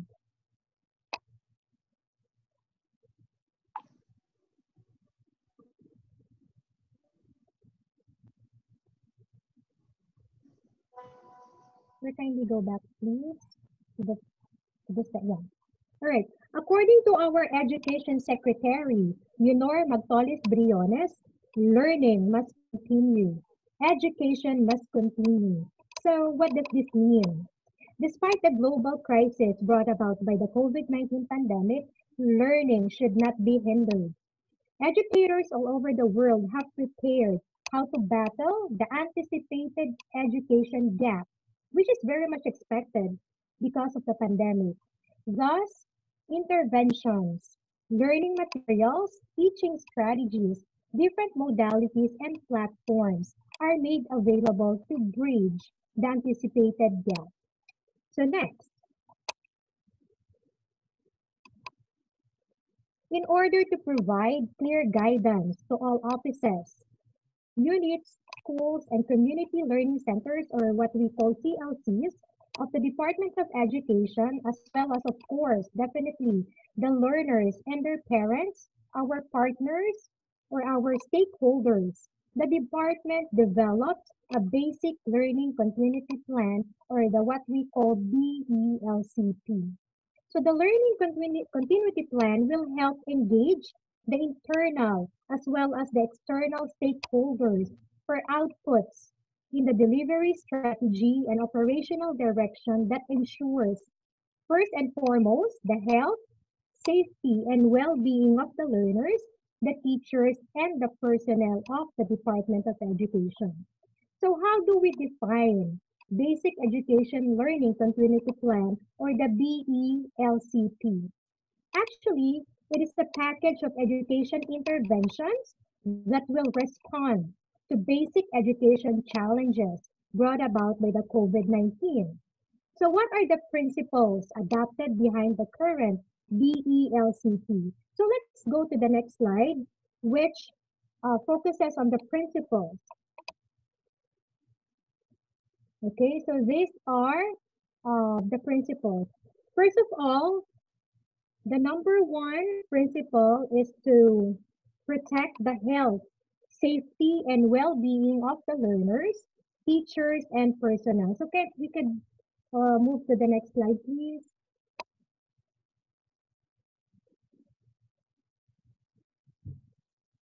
All right, so again, the first uh, principle that we have under the BELCP is, the, is to protect the health, safety, and well-being of learners, teachers, and personnel. So take note that the safety of everyone, meaning the teachers, the learners, and the personnel is the primary priority of the Department of Education due to the global crisis that we are facing right now. The second principle is to ensure the continuity of learning. So, of course, this could be achieved by number one, doing curricular adjustments. These curricular adjustments will enable us, teachers, to adapt to the current pandemic and its challenges in delivering the curriculum. Next is the alignment of the learning materials. Number three is the deployment of multiple learning delivery modalities, which includes the blended learning. So these are options that our students can choose from in order for them to have access to education despite the current situation. But of course, we have to consider the context, the um, needs, the capabilities of our learners in order for them to choose which modality suits them best. Number four is um, the training for teachers and school leaders and proper orientation of parents or guardians of the learners. It is very much important that our parents also have proper training because uh, this kind of modality right now requires the 100% participation of the parents or the guardians of our learners. So it is not just the primary goal of the teachers to teach and deliver education and learning to our students, but parents as well have a great contribution in order to realize this, they, uh, this BELCP. All right, since this is something new, teachers, even the learners and their parents have to adjust. Probably you have heard several uproars regarding the modalities in the new normal of education. Parents are complaining, we don't have gadgets, we don't have internet connectivity. Well, of course, that is expected because everyone, and I mean everyone, is still adjusting to the new normal. All right, so let's go to the next slide. Another principle of this BCL, uh, BELCP is to facilitate the safe return of teaching and non-teaching personnel and learners to workplaces and schools. As we all know, uh, there is still a high level of transmission of the virus, not only here in the Philippines, but as to other countries as well. Probably in, the, in Indonesia, uh, it is still high risk, but already decreasing. We, but we are still hopeful that soon we will all go back to our respective stations to deliver learning to our learners in the safest place. Next is be sensitive to equity, considerations, and concerns, and endeavor to address them, meaning to say the learners the best we teachers can. So what does this mean? Using the new modalities, we teachers need to adjust based on the context of our learners, uh, based on what they have, what they know, and what they, what they are capable of. The Department of Education, having this as one of the major principles, is here to adjust and to make sure that, that those who could afford, take note, those who could afford the internet connection, those who could afford the gadgets, and um, those who could not will have a high level of equity between these kinds of learners. So meaning to say quality education will be accessible to all learners, regardless if they have the resources, if they have the internet connectivity, if they have the gadgets, if they have modules or not, the, regardless of the modalities that they will be choosing under the BELCP. And the next principle is to link the bridge, the BELCP to DepEd's pivot to quality and into the future of education. We all know that having online classes and blended learning These are all innovations that have been there quite some time. But uh, for Filipino learners, it is something new to them, but it has been in this uh, in the education system for quite some time. DepEd sees this opportunity to develop certain level of skills among our teachers and learners. Definitely, this could be a challenge for everyone, but this could also be an opportunity for us to improve the quality of education that we have here in the Philippines. So it could be um, a, a threat, a challenge, and also an opportunity as well. All right, next. So the adoption of the basic education learning continuity plan as an overall framework that will govern the school year. It will be our ultimate guide for the school year 2020-2021 unless repealed, amended, and rescinded. So this basically this would be our Bible per se in uh, delivering learning to our students. All right, so let's go to the other features of the DepEd Order number 12 series of 2020. Okay, so let's go to the next slide. Other features of DepEd, DepEd Order number 20, uh, DepEd Order number 12 series of 2020. Number one, the creation of Learning Resources and Platforms Committee. So this committee was, committee was created in order to ensure the necessary platforms or technologies. Basically, we need technologies and platforms in delivering our learning modalities this time for the opening of classes. So from August 24 this year, the opening of classes in the Philippines was moved to October 5. So basically, this is just our sixth week of classes. We have just started just this um, last month, October 5. All right. Another feature of this, which is very important. So let's go to the next slide. Oh, no, not yet. Sorry. This is one of the very important feature, one of the very important features of the DepEd order. Section 14 of this DepEd order says that there will be no face-to-face classes until it is safe.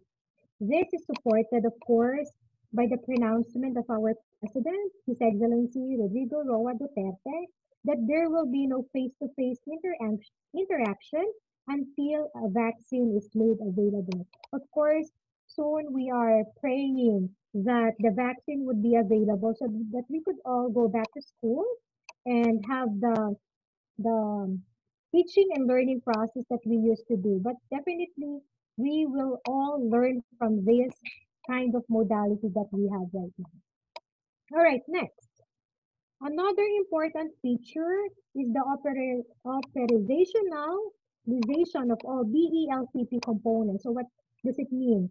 This is important um, because it says here that all efforts should be aligned with the BELCP as well as the monitoring and evaluation framework. Next slide, please. So what does it mean? First of all, research should be aligned with the BELCP as well as the monitoring and evaluation framework. So let me just share this with you. The Schools Division of Taguig City and Pateros, headed by our Schools Division Superintendent, Margarito Materum, in support, of course, of the local government of Taguig, has aligned the action research conducted in all schools in Taguig to the BELCP. So the title of the research that each school is having right now is the effectiveness of blended learning on academic achievement. In our case, in our school, it is assigned for the grade 8 students in mathematics and school operations during the COVID-19 pandemic at Maria Asuncion Rodriguez Tinga Memorial High School. Since this action research is in work is a work in progress, we would soon find out how effective blended learning is after the research. Also, it is important that the central office strands, regional offices, and the division offices should align their plans to the BELCP. So there should be an alignment of their own continuity plan with the basic learning continuity plan. So it would be co- a contextualized BELCP for each offices, for, for each office. Another feature of the DepEd order number 12 series of 2020, let's go to the next slide, is that regional offices will decide on the modalities based on the context of their jurisdiction. So what does it mean? Um, regional offices are given the authority to decide on the modalities based on their current scenarios, based on the capacity of their learners, and based on the situations on their respective regions. So in, uh, it is a contextualized LCP. Since the National Capital Region NCR, which my division is located, still under the general community quarantine, the modality is distance learning. So we have the distance learning here in the National Capital Region and of course some other parts of the country. Okay, so next. Also, it has been ordered by the Dep- uh, Department of Education that regional officers should submit to the secretary their contextualized learning continuity plan. This has been already submitted prior to the opening of classes, whereby um, each division has their own plan in order to deliver education to the learners. Okay, sir.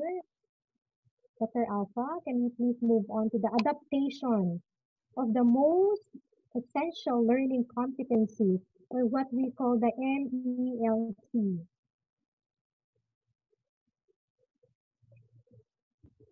All right.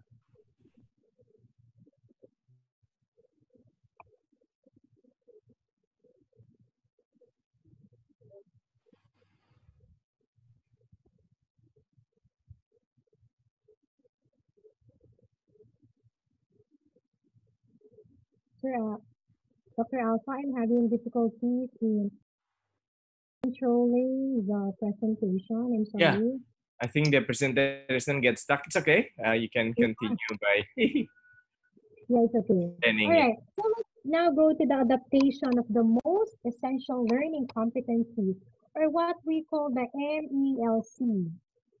All right. One of the major challenges of uh, that is evident to the adaptation of the most essential learning competency is that um, or sorry, one of the major changes that is evident to the adaptation of the BELCP is the most essential learning competencies, or also known as the MELC. So what is the purpose of MELC? Basically, the MELC is to des- is designed to ease the requirements of the curriculum. It has been made easier for the students in order for them to understand the skills which are very much needed, just the most important skills that they have to acquire from the curriculum. This has been actually a plan of the Department of Education two years ago, prior to the pandemic. So later on, I'll be uh, talking more about that. This will be delivered in multiple modalities and platforms. So let me just add this. Um, take note that the MELC is one of the learning strategies and modalities.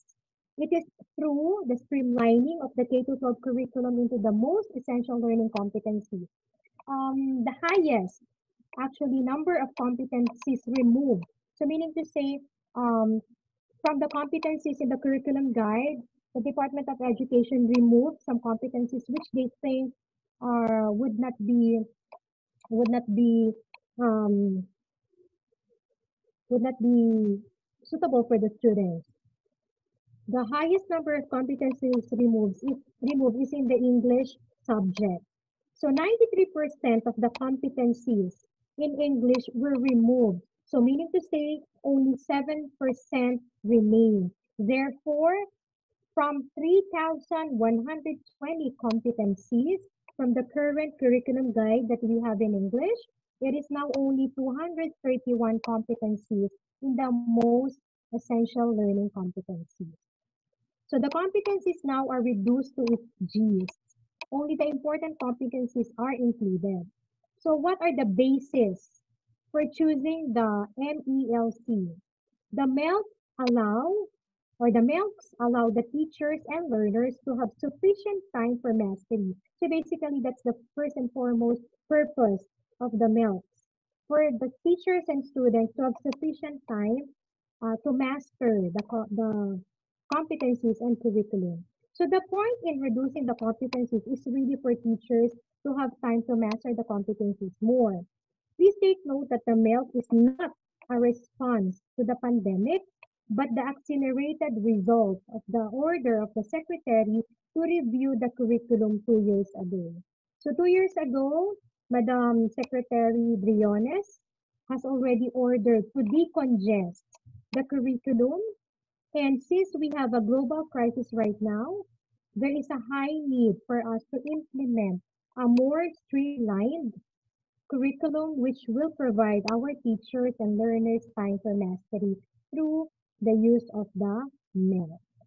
All right. So now let's go to the DepEd learning delivery modalities for school year 2020-2021. So the learner learning delivery modalities that schools can adopt, like in my school, may be one or a combination of the following, depending on the COVID-19 restrictions and the particular context of the learners in the school or locality. Right. I'll be showing you a picture of the or the graphics for the LC, uh, LCP, Dr. Alfa. Okay. So again, like what I've mentioned, since we are still under the GCQ or in, in GCQ, we are have we have the distance learning and um, homeschooling mode of modalities or mo- uh, modalities for teaching. Okay, so what does it mean? Or, what are the kinds of uh, delivery modalities that we have for school year for this school year? Dr. Alfa, next uh, slide, please. Okay, so number one is the face-to-face. This shall only be considered in areas with very low risk of COVID-19 transmission, but still should undergo proper risk, manage, uh, risk, risk assessment and of course adhere to the health protocol. But again, as what I have mentioned, the president ordered that there will be no face-to-face unless it is safe. So probably soon we will be having face-to-face, but this school year definitely there would be no face-to-face class interaction. Okay, number two is the distance learning. These are instructions or instructions occur where learners and teachers are geographically remote from each other. So there are actually three types of distance learning. So the first type is the modular distance learning. It is an individualized instruction that allows to use self-learning modules or what we call SLM in print or digital format.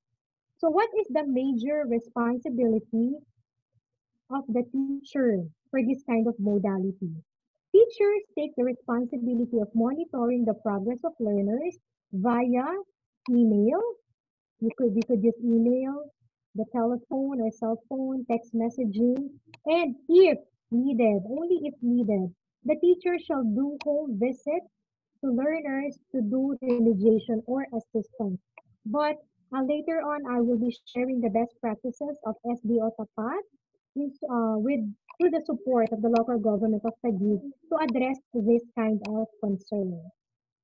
First of all, a member, another requirement, another requirement for this type of learning is a family member or a stakeholder in the community will serve as para-teacher or instructional assistant who will aid and monitor the learner as they do their modular distance learning.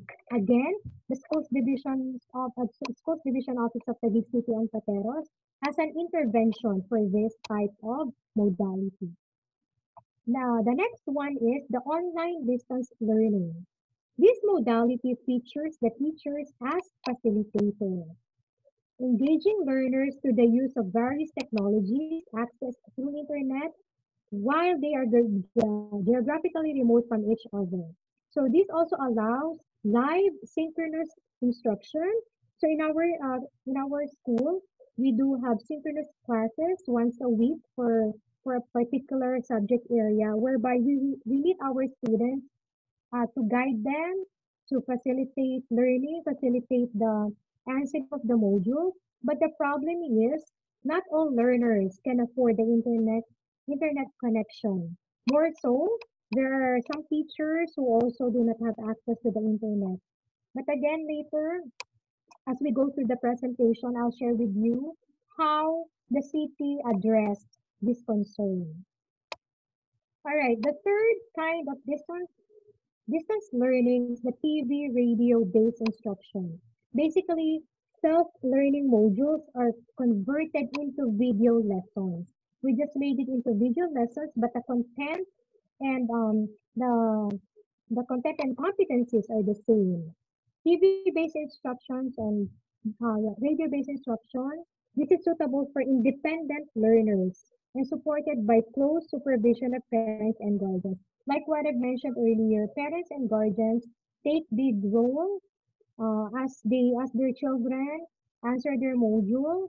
The learner should be responsible enough uh, to be able to do independent learning. So there would there should be a collaboration between the teacher, the learner, and of course the parents. Then the, uh, the third type of learning delivery modalities is the homeschooling. So what is homeschooling?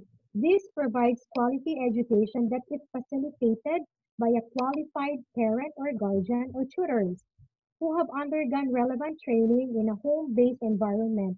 However, this type of modality is subjected by the Department of Education since the requirement is the parent or the guardian or tutor have undergone specialized training.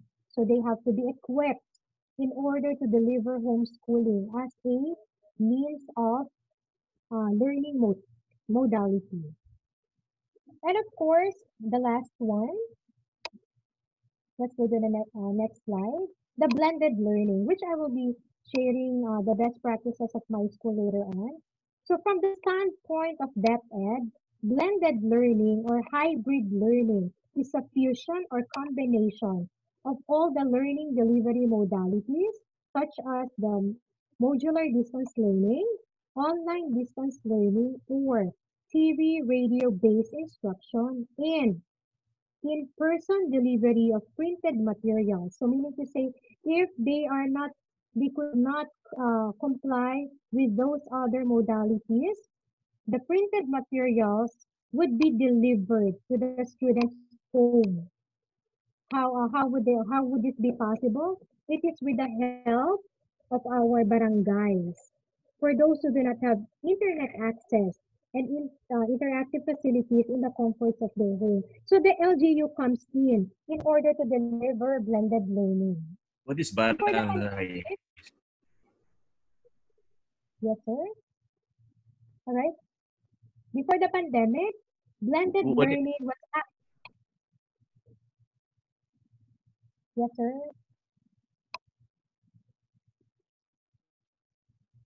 So before the pandemic, blended learning was actually a combination of face-to-face and online distance learning. That was before. However, right now, since COVID-19 is uh, exists, face-to-face is discouraged. So blended learning could be a mix of the distance learning modalities mentioned uh, a while ago. All right. Like what I've said, I will be sharing to you the contextualized basic education continuity plan of my school. So may I request our moderator to please share the video of, uh, of the module distribution. Okay, please share the video. Which one? Which one, ma'am? I haven't received that video yet. Uh, sir, I have sent last um, yesterday with, together with the um, together with the PPT. Periksa email email. Pak Admin, emailnya tolong dicek. Ada itu videonya. Yeah, basically there are two videos.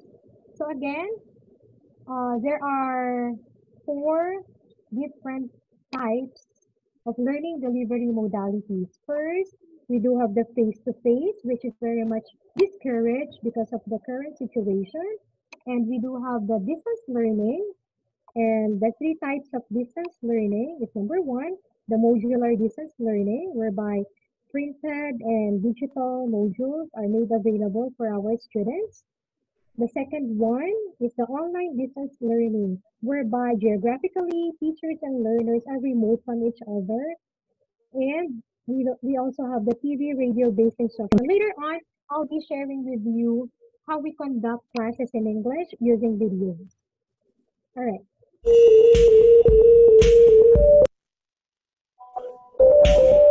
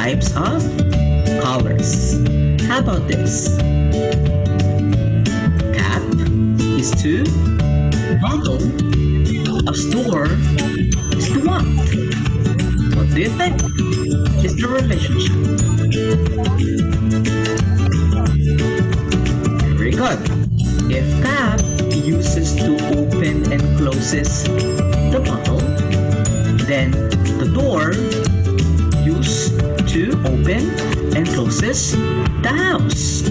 Very good. Because today we're going to learn analogies. Analogies are comparison between two things and to determine the relationship between different sets of things. Analogies are to describe or explain one thing by explaining its similarities with one another. Analogies are written as follows. Word 1 is to word 2. Example, cat is to bottle.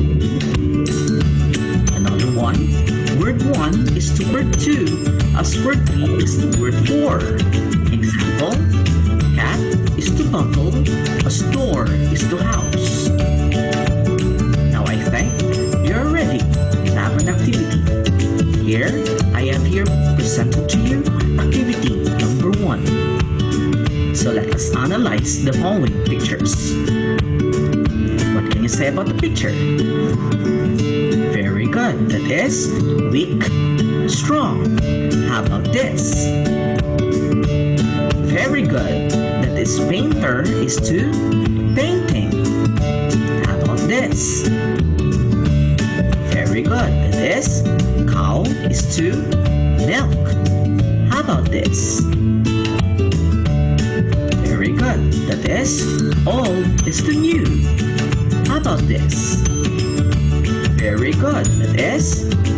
Doctor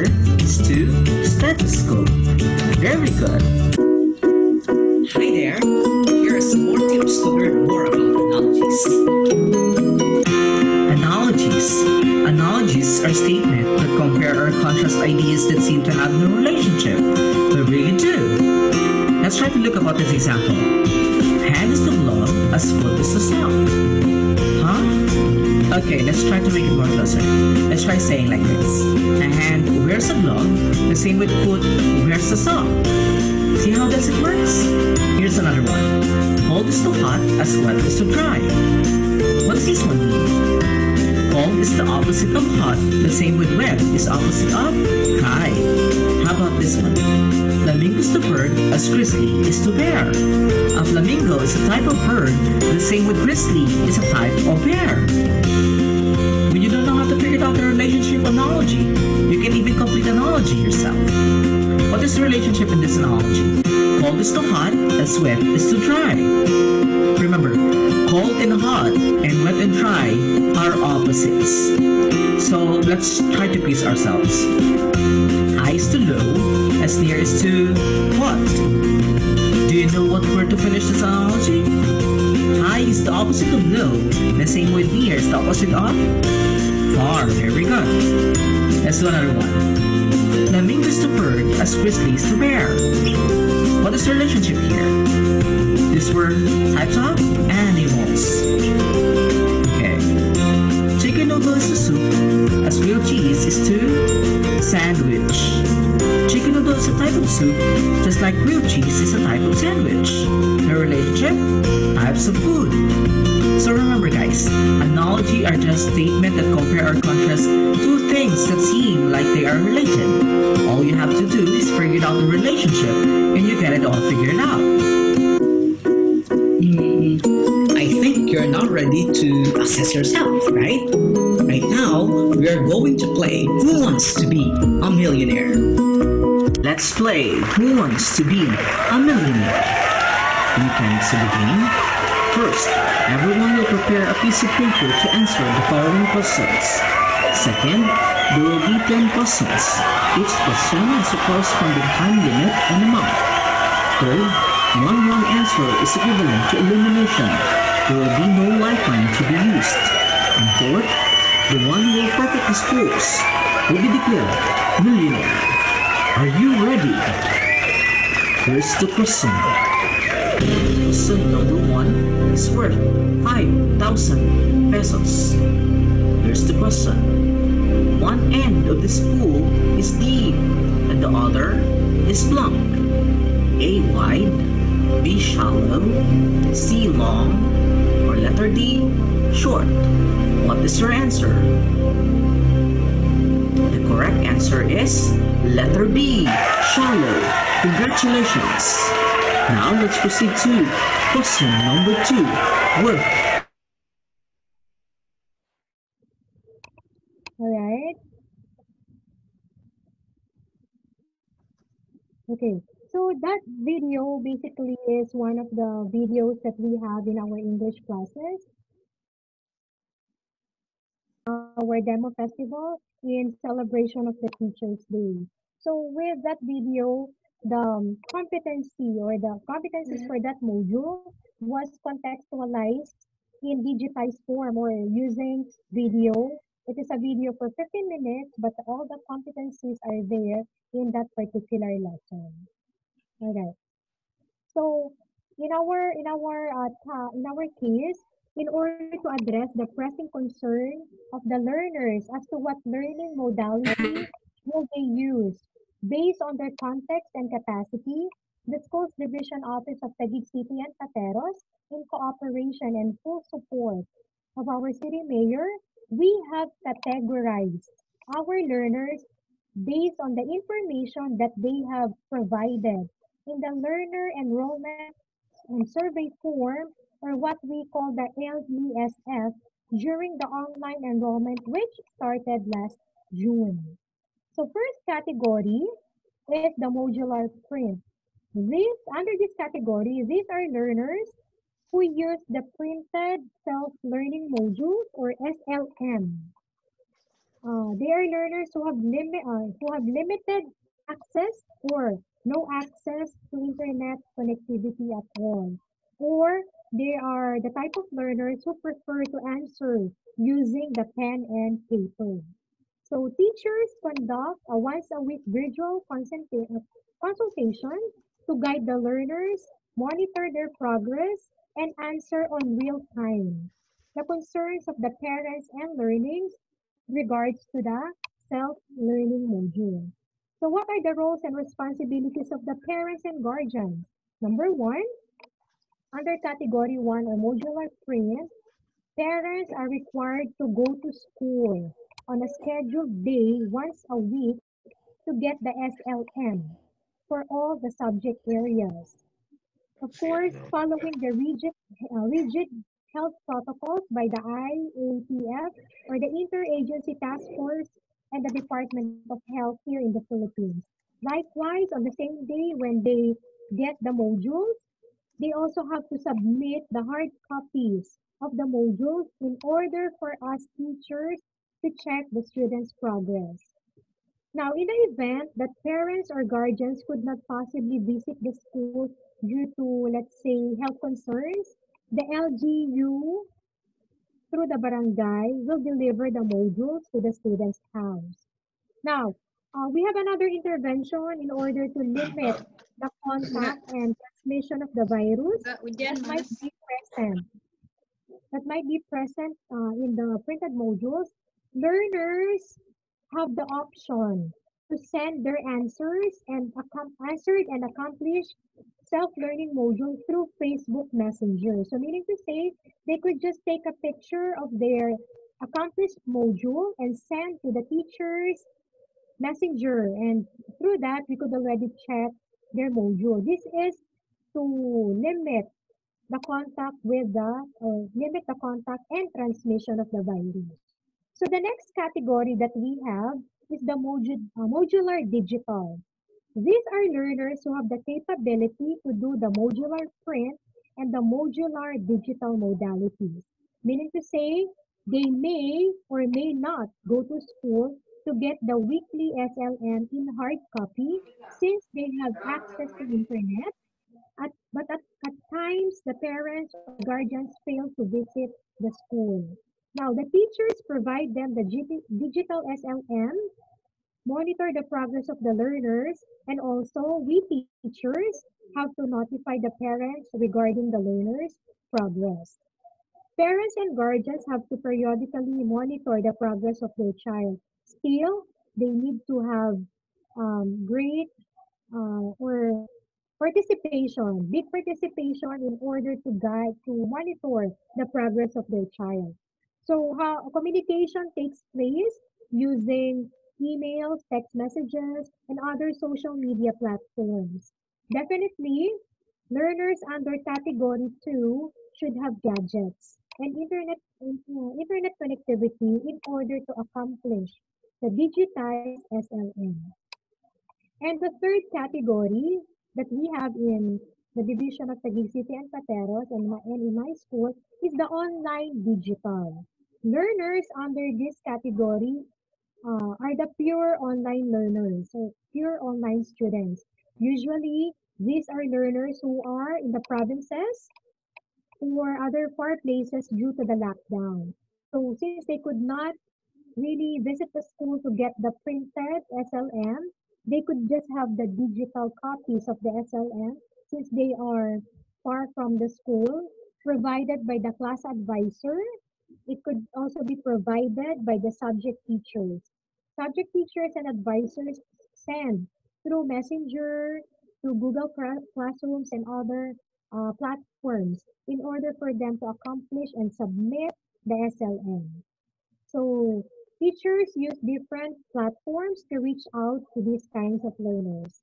Also, learners under this category should have gadgets and internet connectivity in order to accomplish the SLM. Now, this time, uh, probably we could just uh, play a short part of the next video, uh, just a short part, just to show you how parents um, get their modules in our school, following the guidelines set by the, the Department of uh, Health in terms of the safety.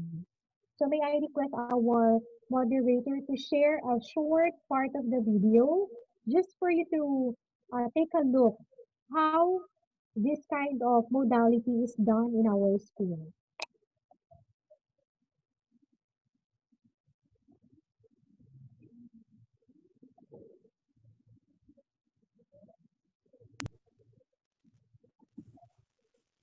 嗯。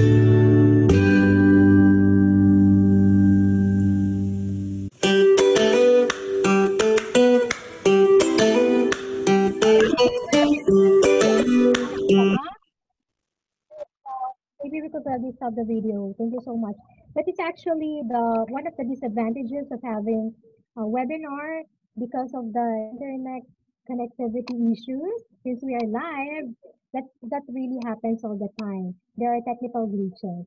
So thank you so much for sharing that. So basically, the video shows how the parents uh, whose child is under category one gets the module from the school and also return the module, the accomplished module to the teachers in order for us to check, following the health protocol set by the government. So thank you so much for that. So now let's go to the data, which is from my school. Okay. I'll be showing you, I will, I'll be showing you the tables on the information about the senior high school learners category. Okay, so with this, sorry for the names there. Okay, so we have categorized our students into category one, two, uh, one, two, three. And if you have noticed, there is another table which says bright space. So the first table shows the categories of the students based on their content. You would see that out of the 208 students enrolled, uh, 208 senior high school students enrolled in our school, 115 students or learners fall under category 1 or the modular print modality. And then 45 learners fall under category 2 or the modular digital modality. And only 4 learners fall, fall under category 3 or the pure online digital modality. Now, you would notice that there are 44 learners under the Brightspace.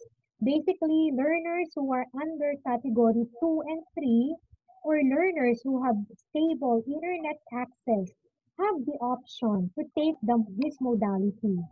Later on, I'll be sharing what Brightspace is. Okay, the next table, let's go to the next table. Okay, the next table, this is our own intervention. This is our own intervention to check the retrieval percentage data of the senior high school learners in terms of the submission of their weekly self-learning modules. This is for, uh, for us to monitor the student submission of the weekly SLM. We would like to ensure that learners are able to accomplish the SLM in order for them to acquire the knowledge and skills from the most essential learning competencies or MELC. So in, in, it, uh, in table one, it is the subject or the subjects are listed there. The next table are the names of the teacher or the subject teachers. And then the next table is out of the number of students, how many have submitted. For example, uh, in one class, if there are 51 students, 45 submitted. So there is a certain percentage on the retrieval of the self-learning module. Now, this is for us to compare each week what subject area and who among the teachers who handle those classes have decreased or increased the percentage of the submission of the SLM basically in the senior high school uh, department. Also in our junior high school from grade 7 to 10, grade 7 to 10, this is also done in order for us to monitor the progress and the submission rate of our students. Okay, so that is one of our monitoring tool, tool which is aligned to the BELCP of the Department of Education. So now let's go to the Taguig City initiated programs. As mentioned earlier, let's go to the next slide. As mentioned earlier, the Schools Division Office of Tapat or Taguig City and Pateros, Philippines, is supported by the local government of Taguig. The following are some of the initiated programs of Taguig City. First is the Bright Space. So a while ago, I have shown you categories which our learners fall under. So D2L is a global software company and the developer of the Brightspace Learning Management System, or what we call the LMS, which is a cloud-based software used by many schools, higher education, and businesses for online and blended learning. So basically, it is designed for blended learning, especially this time that we have to adopt blended learning. In the city, uh, the city government of Taguig has given has uh, given each school a bright space software. It is for free. It is initiated by our city mayor Mayor Direct Lino Cayetano, each school is given a Brightspace software to aid the teachers and learners in coping with the new normal and the next normal in education in the city of Taguig. So meaning to say, Taguig City has plans, has more plans, not just only for this year, we, uh, but we are using the, the blended learning using other platforms. There would be other plans in the future. That's why each school is given a Brightspace software in order for us to be equipped to the next normal. The second uh, uh, Taguig City initiated project is the Telearalan or what we call the tutorial program.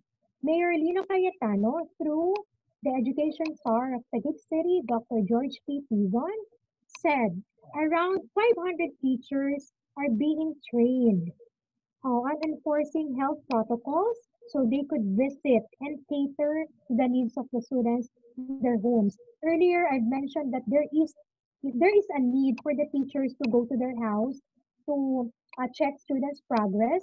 Our government has addressed this concern. So they have trained teachers who will be going to the homes of the students in order to assist them with their needs in terms of blended learning. So the Telearalan Center will be manned by teachers who have undergone training, specialized training, and enrichment courses from the Taguig Online Campus or Tech Talk. It is another city-initiated program. We have a lot of uh, programs here in Taguig City to address the needs of the, not only the teachers and the students, but as well as the other members of the community. So uh, they are trained, they have been trained and led by call center supervisors in order for them to deliver telearalan or the tutorial or the online tutorial program. So the center, which is located in one of the science schools in Taguig City, has 15 lines installed for students to call. So students could call and ask the teachers on real time. I have difficulties in answering mathematics. I don't understand this lesson. The teachers could answer them in real time using the phone lines which have been installed in that center. So another 20 additional substitute and support staff, 50 iMac desktop computers with communication applications and headsets, which will allow the established workforce for modular learning students, computer-aided learning students, and online learning students to operate efficiently. This is a very good project from the city government of Taguig in order to cope with the new normal and the next normal. The third um, Taguig online resource, the Taguig initiated project is what we call the Taguig online resources and community hub, which, uh, which we call TORCH.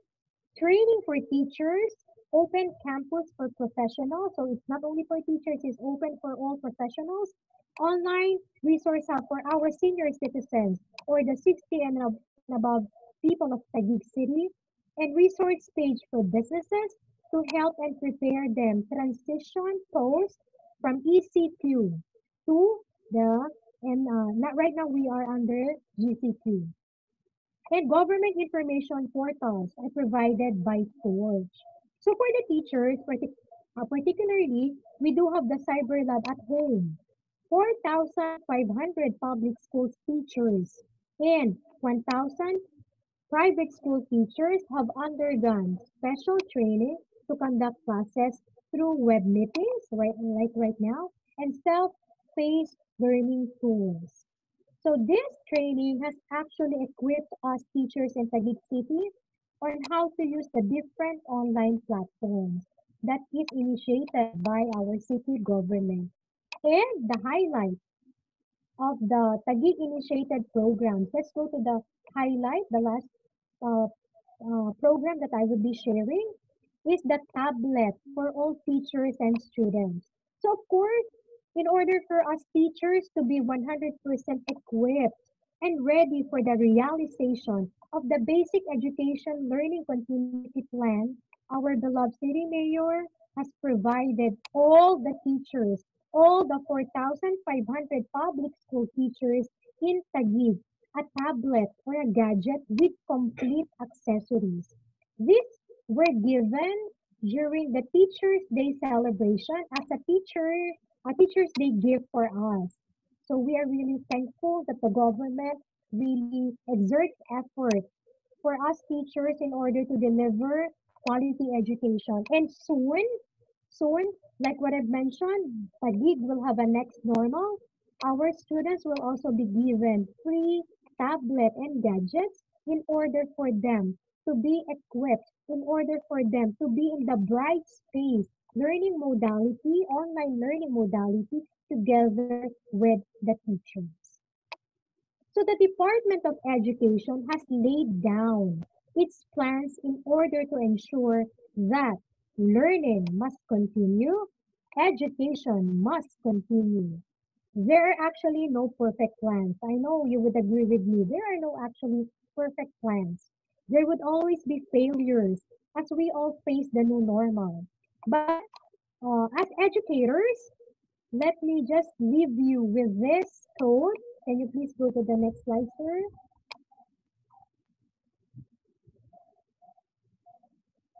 A good education can change anyone, but a good teacher can change everything. It is not just about the curriculum, it is not just about the platforms, nor the modalities that we are going to use, but it is more of you as a teacher with compassion, empathy, sympathy, and love. So salute to all my fellow teach, uh, fellow educators who are present here today, who are watching here, who are part of this webinar. We are all the frontliners of education. We are the modern day heroes. So terima kasih. Thank you so much. Mabuhay Indonesia, mabuhay Philippines, mabuhay Taguig City. To God be the glory. Maraming salamat po. Thank you very much, Ms. Gladlyn, uh, for your, I think, very comprehensive presentations, yeah, particularly with regard to Taguig City initiated programs. Uh, I think we have learned uh, a lot from, from you. Uh, ladies and gentlemen, we have just heard uh, very thoughtful presentation from uh, Ms. Gladlyn. Uh, there are many aspects that she already elaborated, you know, from BELCP, MELC, yeah, most essential learning competencies, and also learning delivery modalities. Uh, she mentions about three uh, prominent features. First is face-to-face, second distance learning, and third homeschooling. And then with this distance learning, it is it is divided into three: uh, modular, uh, uh, online, yeah, and TV and radio-based uh, learning. I think for these parts, you know, Indonesians experience, as Fatur already mentioned, also we experience and experimented. I mean the TV-based learning. Okay, thank you very much, uh, Ms. Gladlyn, for your very comprehensive presentations. And then I think we are going to go deeper into this issue through our discussions. Now we are uh, we have come to uh, questions and answer part, and I have already uh, seen some questions here. In uh, ladies and gentlemen, the participants, you may uh, put your questions here uh, in que- in questions and answers uh, column. Yeah, let me just read. Uh, I think ha- some have already answered here by by the panelists in writing uh, in the Q and A column. Yeah, uh, let me just read. Uh, the first questions comes from Yuri Villarba. How about students not to have internet connectivity? How are they going to? How they are going to be assessed? Yeah, Ms. Ari Susanti from SEAMOLEC answered that provide them with non-internet self-learning material. It could be on printed module or learning kit, and we can group them into small group and provide them as well with tutors to help them in studying. Okay, and uh, questions from um, Mr. Miftahul Huda, what is popular game needed for secondary high school students? And what measures? And there's another questions also. Uh, uh, what measures can you suggest to assess students' learning in line with online modular learning? Um, Dr. Fatur, I think uh, I would like to give you an opportunity to answer directly. What is a popular game needed for secondary high school students? Because you mentioned about gaming also. Uh, thank you, uh, Doctor.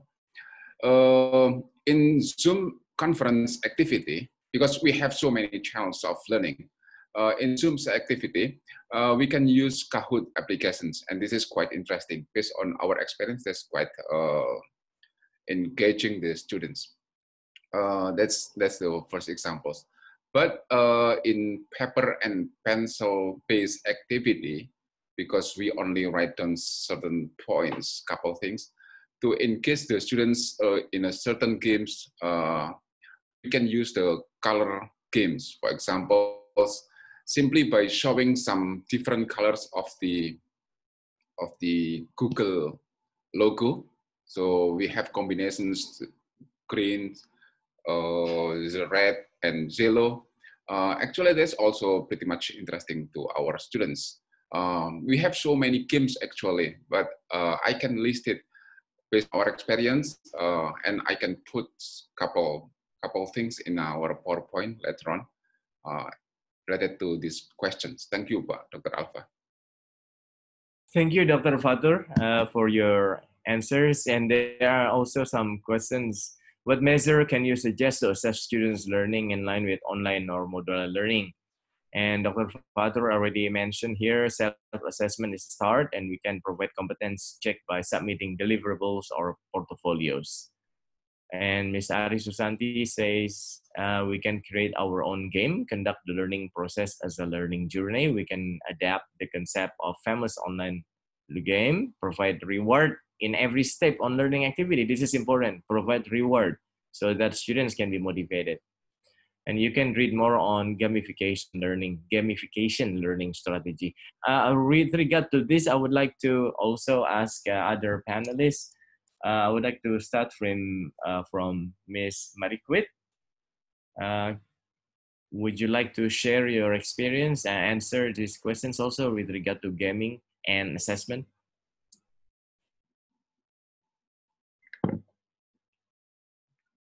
Is he here? Is he already? Is he still here, Bu Lily? I'm sorry, I was uh, mute, muted. Um, we can thank you, Dr. Alfa, um, for giving me the chance to answer.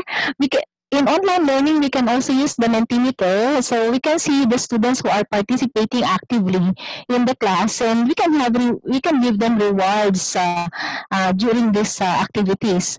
And in modular learning, we can have um, activities like the problem tree, problem solution tree, in which the students can can uh, students can enhance the creativity of the students will be enhanced and at which you can also give send rewards to them even in the when they uh, even they are at in the remote area you can send the rewards um, especially the the in the basic education program right like Dr. Glenn Glendale was uh, telling us a while ago, the, the teachers go to the, the pupils to give the modules. So during the distribution of modules, they can bring the, the reward to the students who are very good and um, actively participating in the discussions online and offline.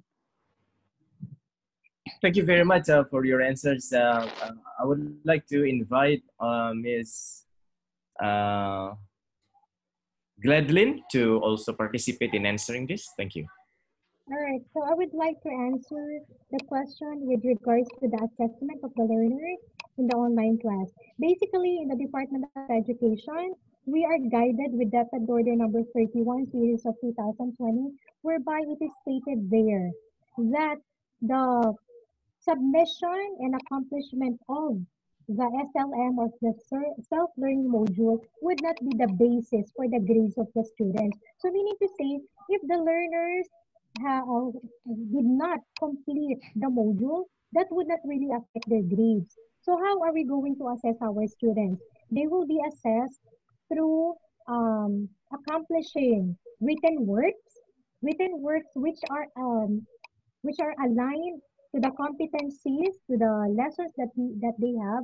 So minimum, they have to submit at least um, five written works. For example, uh, in grade 10, the, the, the, the competency that they have to make is to write uh, an, uh, what's this, an essay or to write a, mm, to deliver a speech. So you they have to come up with five different uh, written works in order for us to grade them. Also, they also have to have three minimum performance tasks which are related to the uh, competencies in the uh, specific week or modules that they have. So basically, it is not a problem for us because we are guided by DepEd Order number 31, series of 2020, whereby the assessment of the learners uh, is clearly stated in that DepEd order. So in terms of the in terms of the games, like what I have shared with you, the video is part of the lesson. It is a digitized lesson whereby we use music in order for the students to have the context of uh, compare and contrast. So we use songs, we use also games in order for in order for us to engage our learners and of course ultimately our our goal is to let them understand the lesson. So we use games, we use um, music in order as a springboard in delivering our lesson. Thank you, Dr. Gladlyn. Uh, the next questions, let me just read this. This is from Miss Rita Handayani. Uh, her questions is how to cope with different types of students' characteristics and different learning styles in a large class. What the teacher should do to maintain the learning activities relating to these differences of students' characteristics in large class. Dr. Fatur Rohim has already uh, provided answer. Let me just read it. And then after this, I'm going to invite other panelists to contribute answering. Uh, according to Dr. Fatur, grouping them based on their styles could be an option. In this grouping strategy, we will be able to control their preferences and learning track. Furthermore, we could also deliver differentiated learning. Uh, each students are learning based on their own path. In this differentiated learning strategy, you could manage an open task that allow individual or personal things, example, share your unforgettable experience, etc. Okay, uh, I would like to invite. Uh, Dr. Alfa?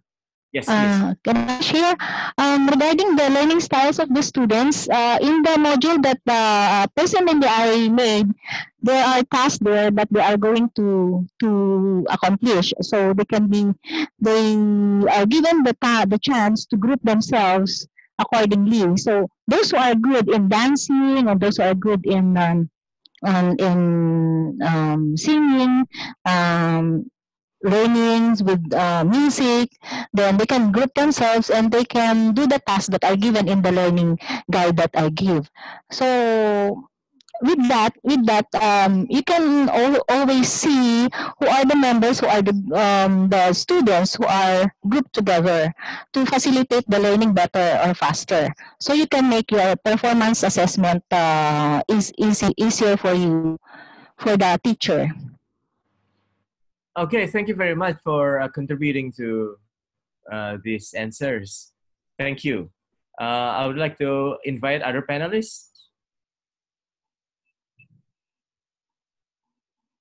Ms. Gladlyn?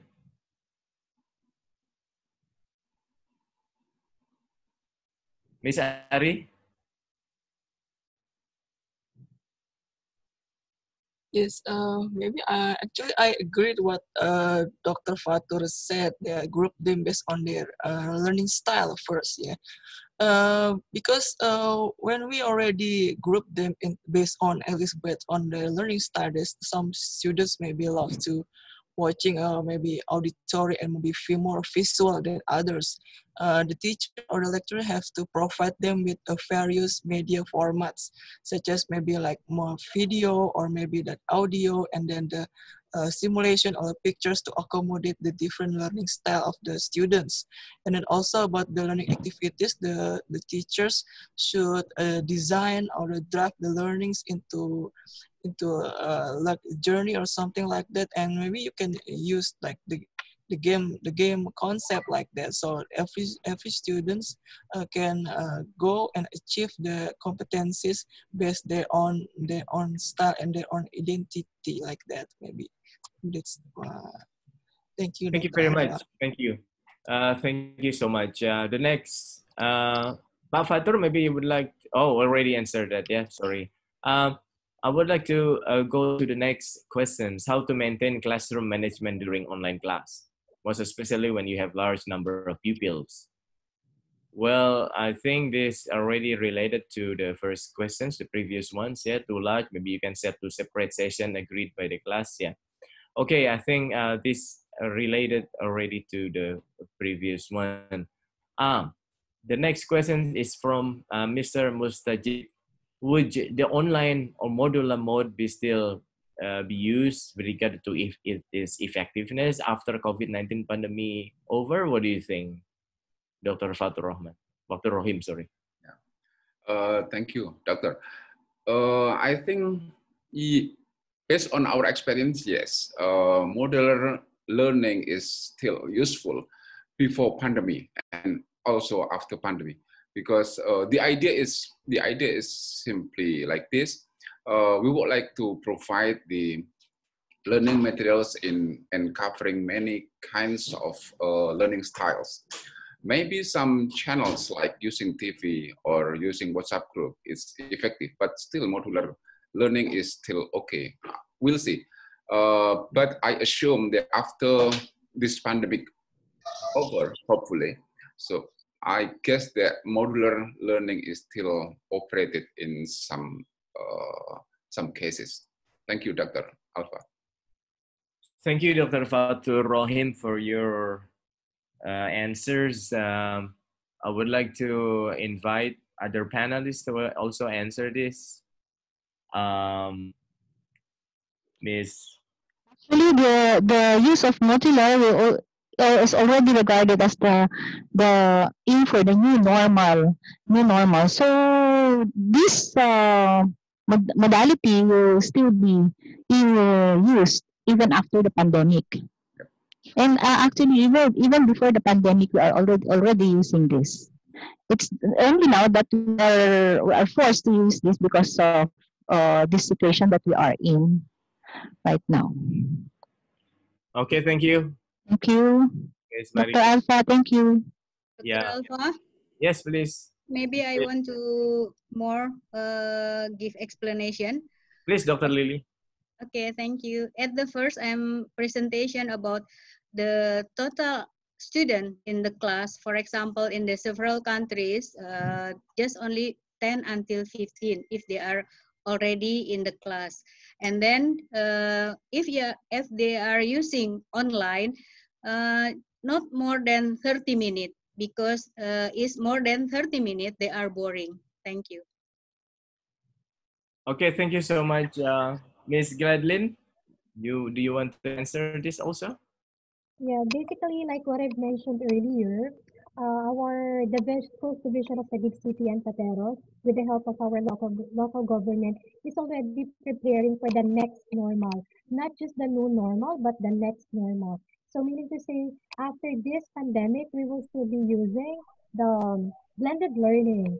There is a plan in our division that students will not uh, be going to school five days in a week there there would be days that they would be having online classes. So I think this it is really high time for us to adopt blended learning, uh, especially if we have support from the local government and our stakeholders.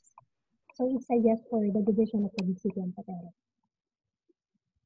Thank you. Thank you so much, Miss Gladlyn. Uh, Miss Ari, I'd like to invite you to contribute answering to this if you want. Uh, yes, if we can provide our lesson or subject in learning management system it's more like systematic a whole uh, learning learning activities over there. But if we use like this one like the directly synchronized learning using the web conference of course it would not be more effective because yeah the student it will be get tired and many uh, much it takes much cost to pay for the internet access like that. But if we provide it on the learning management system and then we provide it with the various learning media and also we can uh, conduct it with the several activities, of course we can use it still um, uh, even if the, if the pandemic is over. Maybe thank you. Thank you, Ms. Ari, for your answers. I uh, would like to go to the next uh, questions from uh, the participants. What is the method to um, positively influence unmotivated students. So how, basically how we can deal with the unmotivated students during this blended learning uh, system. First, Dr. Fatur Rahman, Rahim, sorry. Uh, please unmute. The way how to motivate students in remote uh, learning is uh, we can combine many many kinds of uh, activities. Uh, the first one is, uh, as mentioned by previous uh, presenter, we can do rewarding activities. We can we can give the reward to the students who do pretty well. And also, we can greet them. We can compliment them. We can give them a compliment if they can do certain things in good way. Uh, this is, I think that by giving the compliments, giving the reward, this is the way how to give them uh, motivations. Uh, another things that we can show, uh, we can show them uh, the overreaching goals. What is what is what's about the, their future? If we talk about their future, I think that this is the way how to raise their awareness, and that's the way how to motivate uh, their learning. Thank you. Okay, thank you, um, Dr. Fatur Rahim, for your answers. I would like to invite other panelists to also contribute to this answer. Wait, Uh, can I share our please, best please, practice in our, please, in Ms. our Gladys. school?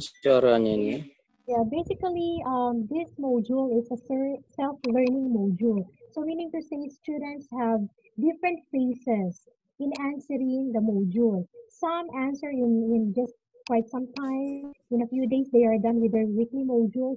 Some students take longer time in order for them to accomplish. So what we do, what we do is that in our school, we prepare script, script whereby it answers the queries of our students. For example, some students are having difficulties in answering the, this part of the module.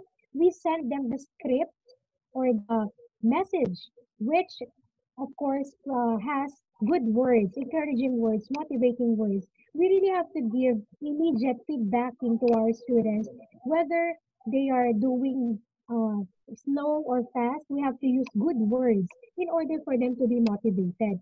So we prepared scripts and sent them to them, uh, whereby students get motivated. In my class, uh, for the first two weeks, out of the 51 students in my class in one section, 100% of them submitted their module through online. So meaning to say, I find it effective uh, if we use kind words, if we use motivating words in order for them to accomplish the self-learning module. So that is one of the practices that we do in our school. Thank you, Ms. Gladlyn, for uh, sharing with us your best practices in, in, in handling unmotivated students. Uh, I'd like to invite uh, other panelists, uh, maybe Ms. Mariquit.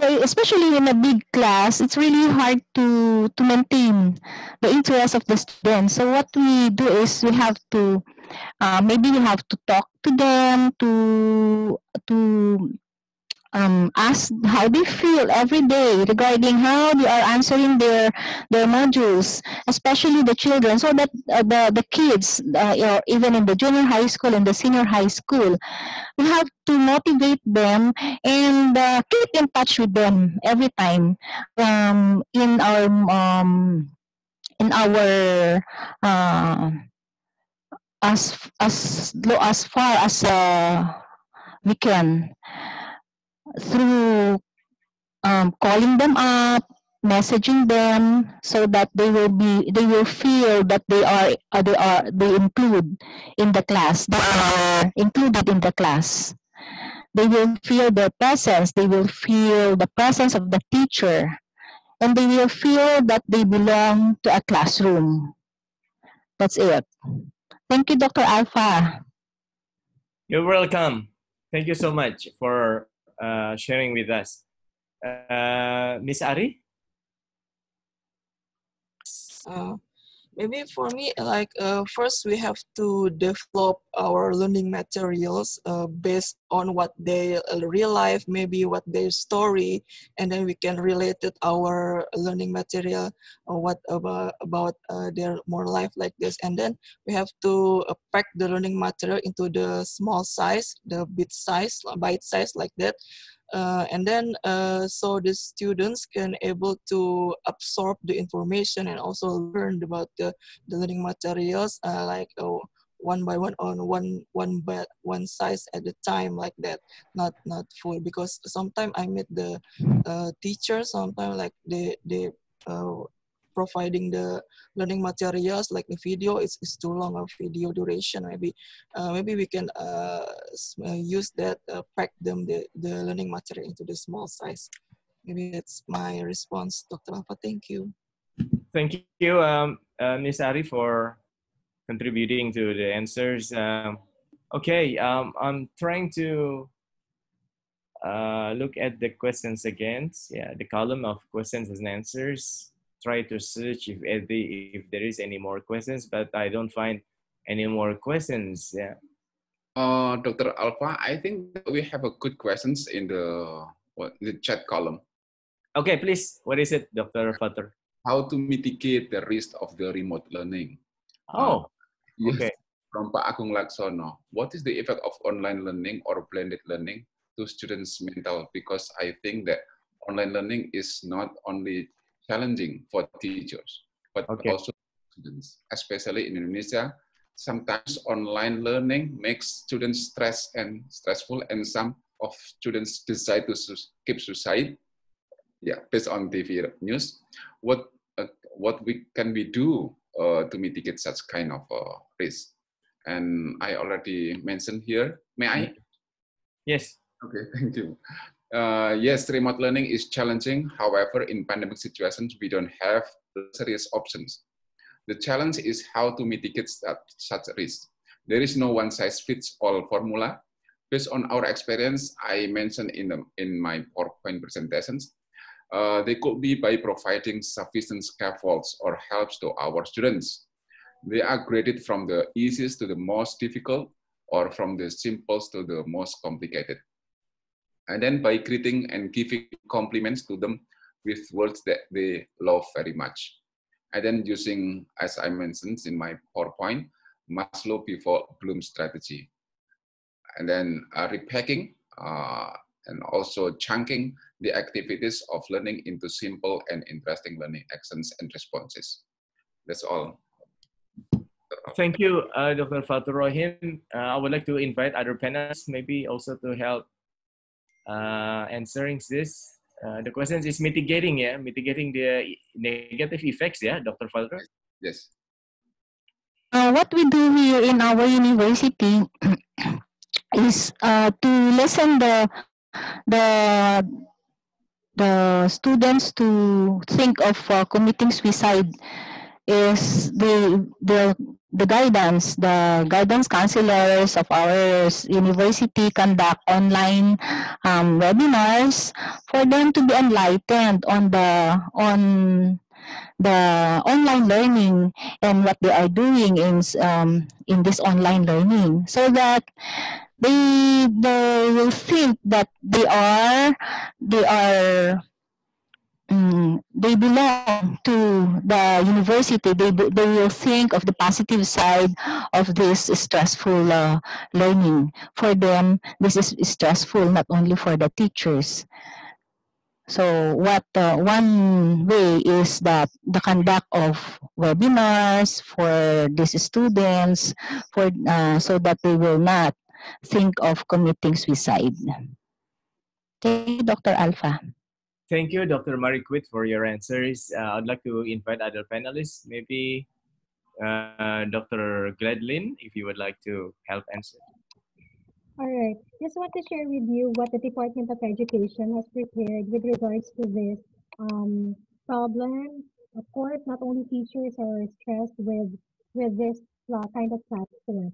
So before the start of the school year, this October 5, we have conducted the 2020 online and self-guided PFA module entitled um, uh, entitled uh, psychological first aid module, whereby students attended this webinar in order for them to give motivation, in order for them to give first aid when in terms of their psychological uh, problems. Some, uh, some of the topics here were validating the feelings and normalizing reactions. It is very important that students would be able to identify first how do they feel uh, how do they feel right now that they are into the online online learning platform so they have to validate their feelings and we teachers as the facilitators of this um, webinar explain to them using um, the scenarios that we have right now the importance of how they should validate their feelings and normalize their actions. So it is okay not to be okay. Everyone could be uh, feeling down sometime, but it is important for them to identify what makes me sad. So teachers should be the uh, should guide them in order for them to be um, motivated to eliminate the feeling of sadness. And of course to prevent suicide. So this will be done periodically by the Department of Education. So for the first grading period, we're done, and probably next grading period we will also have another module. So DepEd has prepared a module for the students' psychological health. Thank you very much, Dr. Alfa. Uh, for your sharing. Miss Ari Susanti, maybe you would like to also uh, answer? Yes, uh, maybe based on our experience that uh, learning in distance is not always about online. We also we can conduct it in offline, and based on our experience, like uh, we uh, um, uh, group the, the students into into into small groups uh, it based on the the neighborhood uh, the neighbor- and then provide them with the tutors yes them because uh, when we start learning in distance uh, the, the teachers get cannot control all the students or activity right? So we ask someone like uh, in the in their local neighborhoods to become their tutors and then it's not always uh, the learning is not always conducted by online but also because uh, as long as the, the, the student and they, they, some, they have someone that we can guide them because not all the parents also can uh, stay with the their kids and during this this learning right? The, the studying. Sometimes the parents also have to work outside uh, the, the house. And then the the best the best uh, way is to provide them with tutors. And also this is we can cooperate with the local governor office the education office or maybe the local governments such as maybe in Indonesia we have uh, perangkat desa or something like that. We can uh, optimize them to become uh, provide them with the tutors. And also the learning materials also can be provided with the printed learning materials. Maybe that's my response dr Rafa. thank you Thank you, Ms. Ari Susanti, for your answers. Yes, uh, I also agree. Uh, yeah, that uh, it is not al- always a internet-based. You know, it can be also delivered through uh, an offline uh, activities. Uh, this is what we call blended learning to also help people who ha- don't have internet access. And I think the Taguig uh, city's case, you know, is presented by Dr. Gladlyn. Has provided us with very uh, interesting and insightful uh, activities, you know, that can be not only activities, but first, of course, the policy of the government of the of week, you know, to to make sure that high quality uh, learning materials is delivered to uh, people, you know, uh, regardless of their uh, situations, whether they have internet uh, connections or not. Yeah, I think it is the benefit of having a blended learning, blended methodology in in remote learning particularly this during this pandemic. And I agree that after the pandemic, I believe there are some aspects of remote learning, aspects of some blended learning that can be continued, you know, with uh, uh, due to the, its effectiveness, effectiveness uh, in conducting pedagogical activities in classrooms or at home. Thank you very much, uh, everyone. I think uh, uh, we are nearing towards the end uh, of this international webinar and uh, we have uh, just gone through very comprehensive and interesting discussions yeah, with honorable panelists from both countries, Indonesia and the Philippines, and um, also enthusiastic participants, yeah, evident with the uh, questions yeah posted in a Q&A column. I'd like to uh, appreciate everyone. Yeah, give my best appreciation uh, to everyone for the participations, for the panelists, of course, you know, for the uh, presentations, uh, for your time and efforts, you know, to be able to be here and uh, share with us, you know, your best practices with regard to uh, teaching learning process in using blended methodology. So I would like to end this um, uh, discussions by uh, inviting the Honorable Dr. Lily Nurlaili to give closing remarks. Please, Lily, Dr. Lily, the floor is yours. Thank you, uh, Mr. Alfa. Assalamualaikum warahmatullahi wabarakatuh. Waalaikumsalam. Magandang tanghali, selamat siang. Sekarang sudah jam 12 di Filipina. Uh, thanks to all uh, panelists and all participants. Uh, until now is 125, but in the early morning is 250. It is very huge uh, participant today, and then I hope uh, this webinar international is valuable because all of the panelists give explanation. That is very description is very uh, interesting and then uh, valuable for us. Uh, my honorable thanks to uh, all of the panelists. My honorable uh, dr fatu rohib from p4tk indonesia bandung. My honorable ibu ari susanti from SEAMOLEC my honorable Miss Gladlyn Low Perena Gonato. Yeah. Uh, maybe I want to explain. I'm already teaching in area Tagig is uh, 800 students. And then until right now, I'm already teaching making batik. I mean making making batik around Philippines is 5,000 people. Yeah, included in vegan in University of Northern of Philippines, uh, Tarlac, uh, Pangasinan, uh, Baguio, and everything. And then uh, my Honorable Professor Mariquit M. Obrero from University Northern uh, Philippines. Thanks to all panelists and thanks to all participants and thanks to uh, Bapak Alfa Amir Rahman from SEAMOLEC. And I hope this webinar we can implementation and then that, that uh, we can uh, using uh, the, the you can using of the presentation today. Thanks again. Terima kasih. Maraming maraming salamat. Selamat po. Terima kasih. Thank you very much, Dr. Lily. Thank actually, you very much, Dr. Lily. There's still uh, actually they in a Q&A there's still questions, but I think I will leave it everyone to answer later. Yeah, it's about synchronous and asynchronous. The questions are from Nilawati Simanjuntak from Sultan Ageng Tirtayasa University.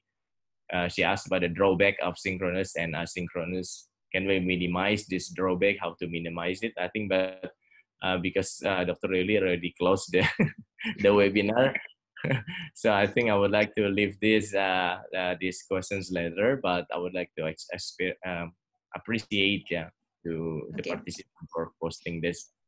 Don't Yeah. forget open open the chat box for the link material and link certificate because some of you is already uh, sometime is forget to open chat box. Uh, that is already certificate today and uh, link all material today. Don't forget.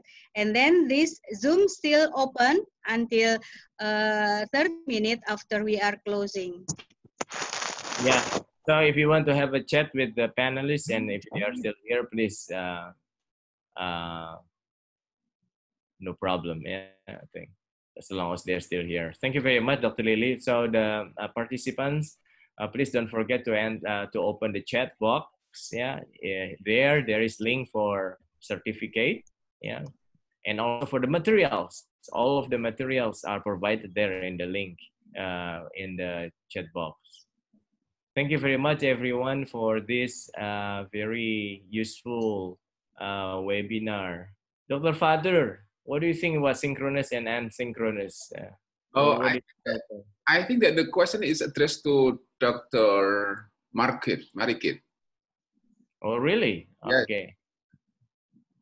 Dr. Mariquit, I don't know if you still want to answer this asynchronous and asynchronous. Uh, uh, sure, Dr. Alfa. Um, regarding the asynchronous and synchronous, this is these are two kinds that we can implement in on our um, online and offline learning. In synchronous, that is you are having um, real time, real time talk or real time discussion with your students or with your pupils um, using a platform. But while asynchronous is you are also using a real time, but um, um, the students, ano, they're not using real time, but the students are given the chance to answer their modules in their most convenient time. So they, uh, they can answer the uh, learning materials or modules in any time, but they have to be guided with the, the deadline or due dates of these modules that they are going to accomplish. That's it. Thank you, Dr. Alfa. Terima kasih. Terima kasih. Thank you. Miss Ari, you would like to share something?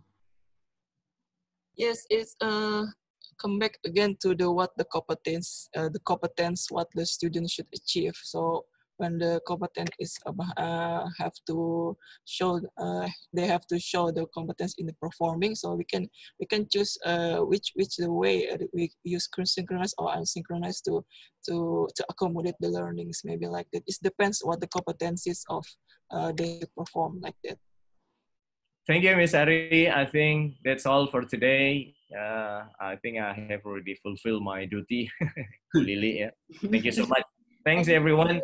So uh, have a good day. Have, have a very good Thank lunch. you. Terima kasih. Thank you, Dr. Lily.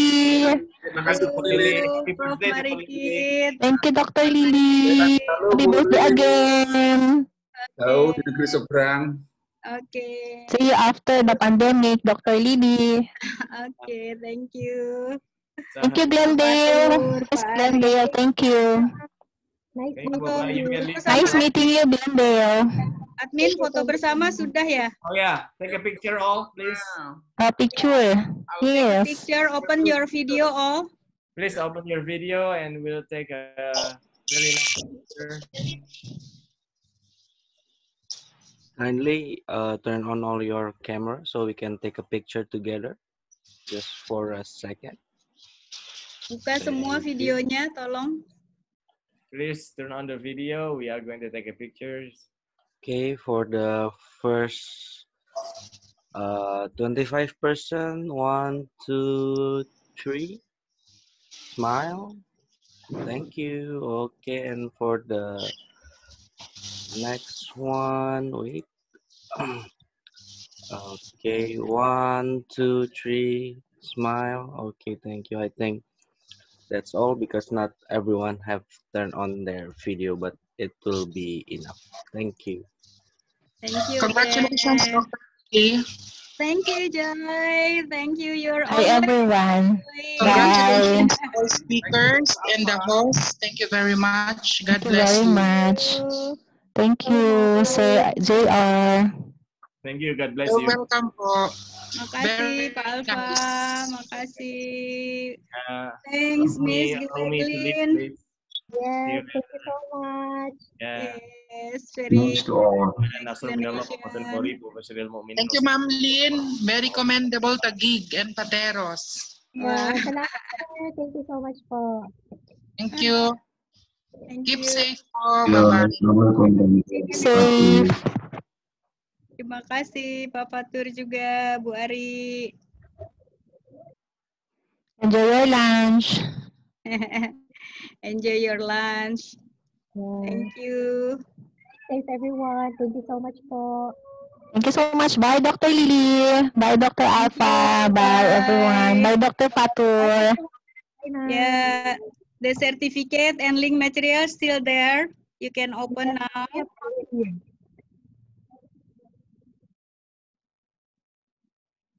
Terima kasih Pak Mustajib.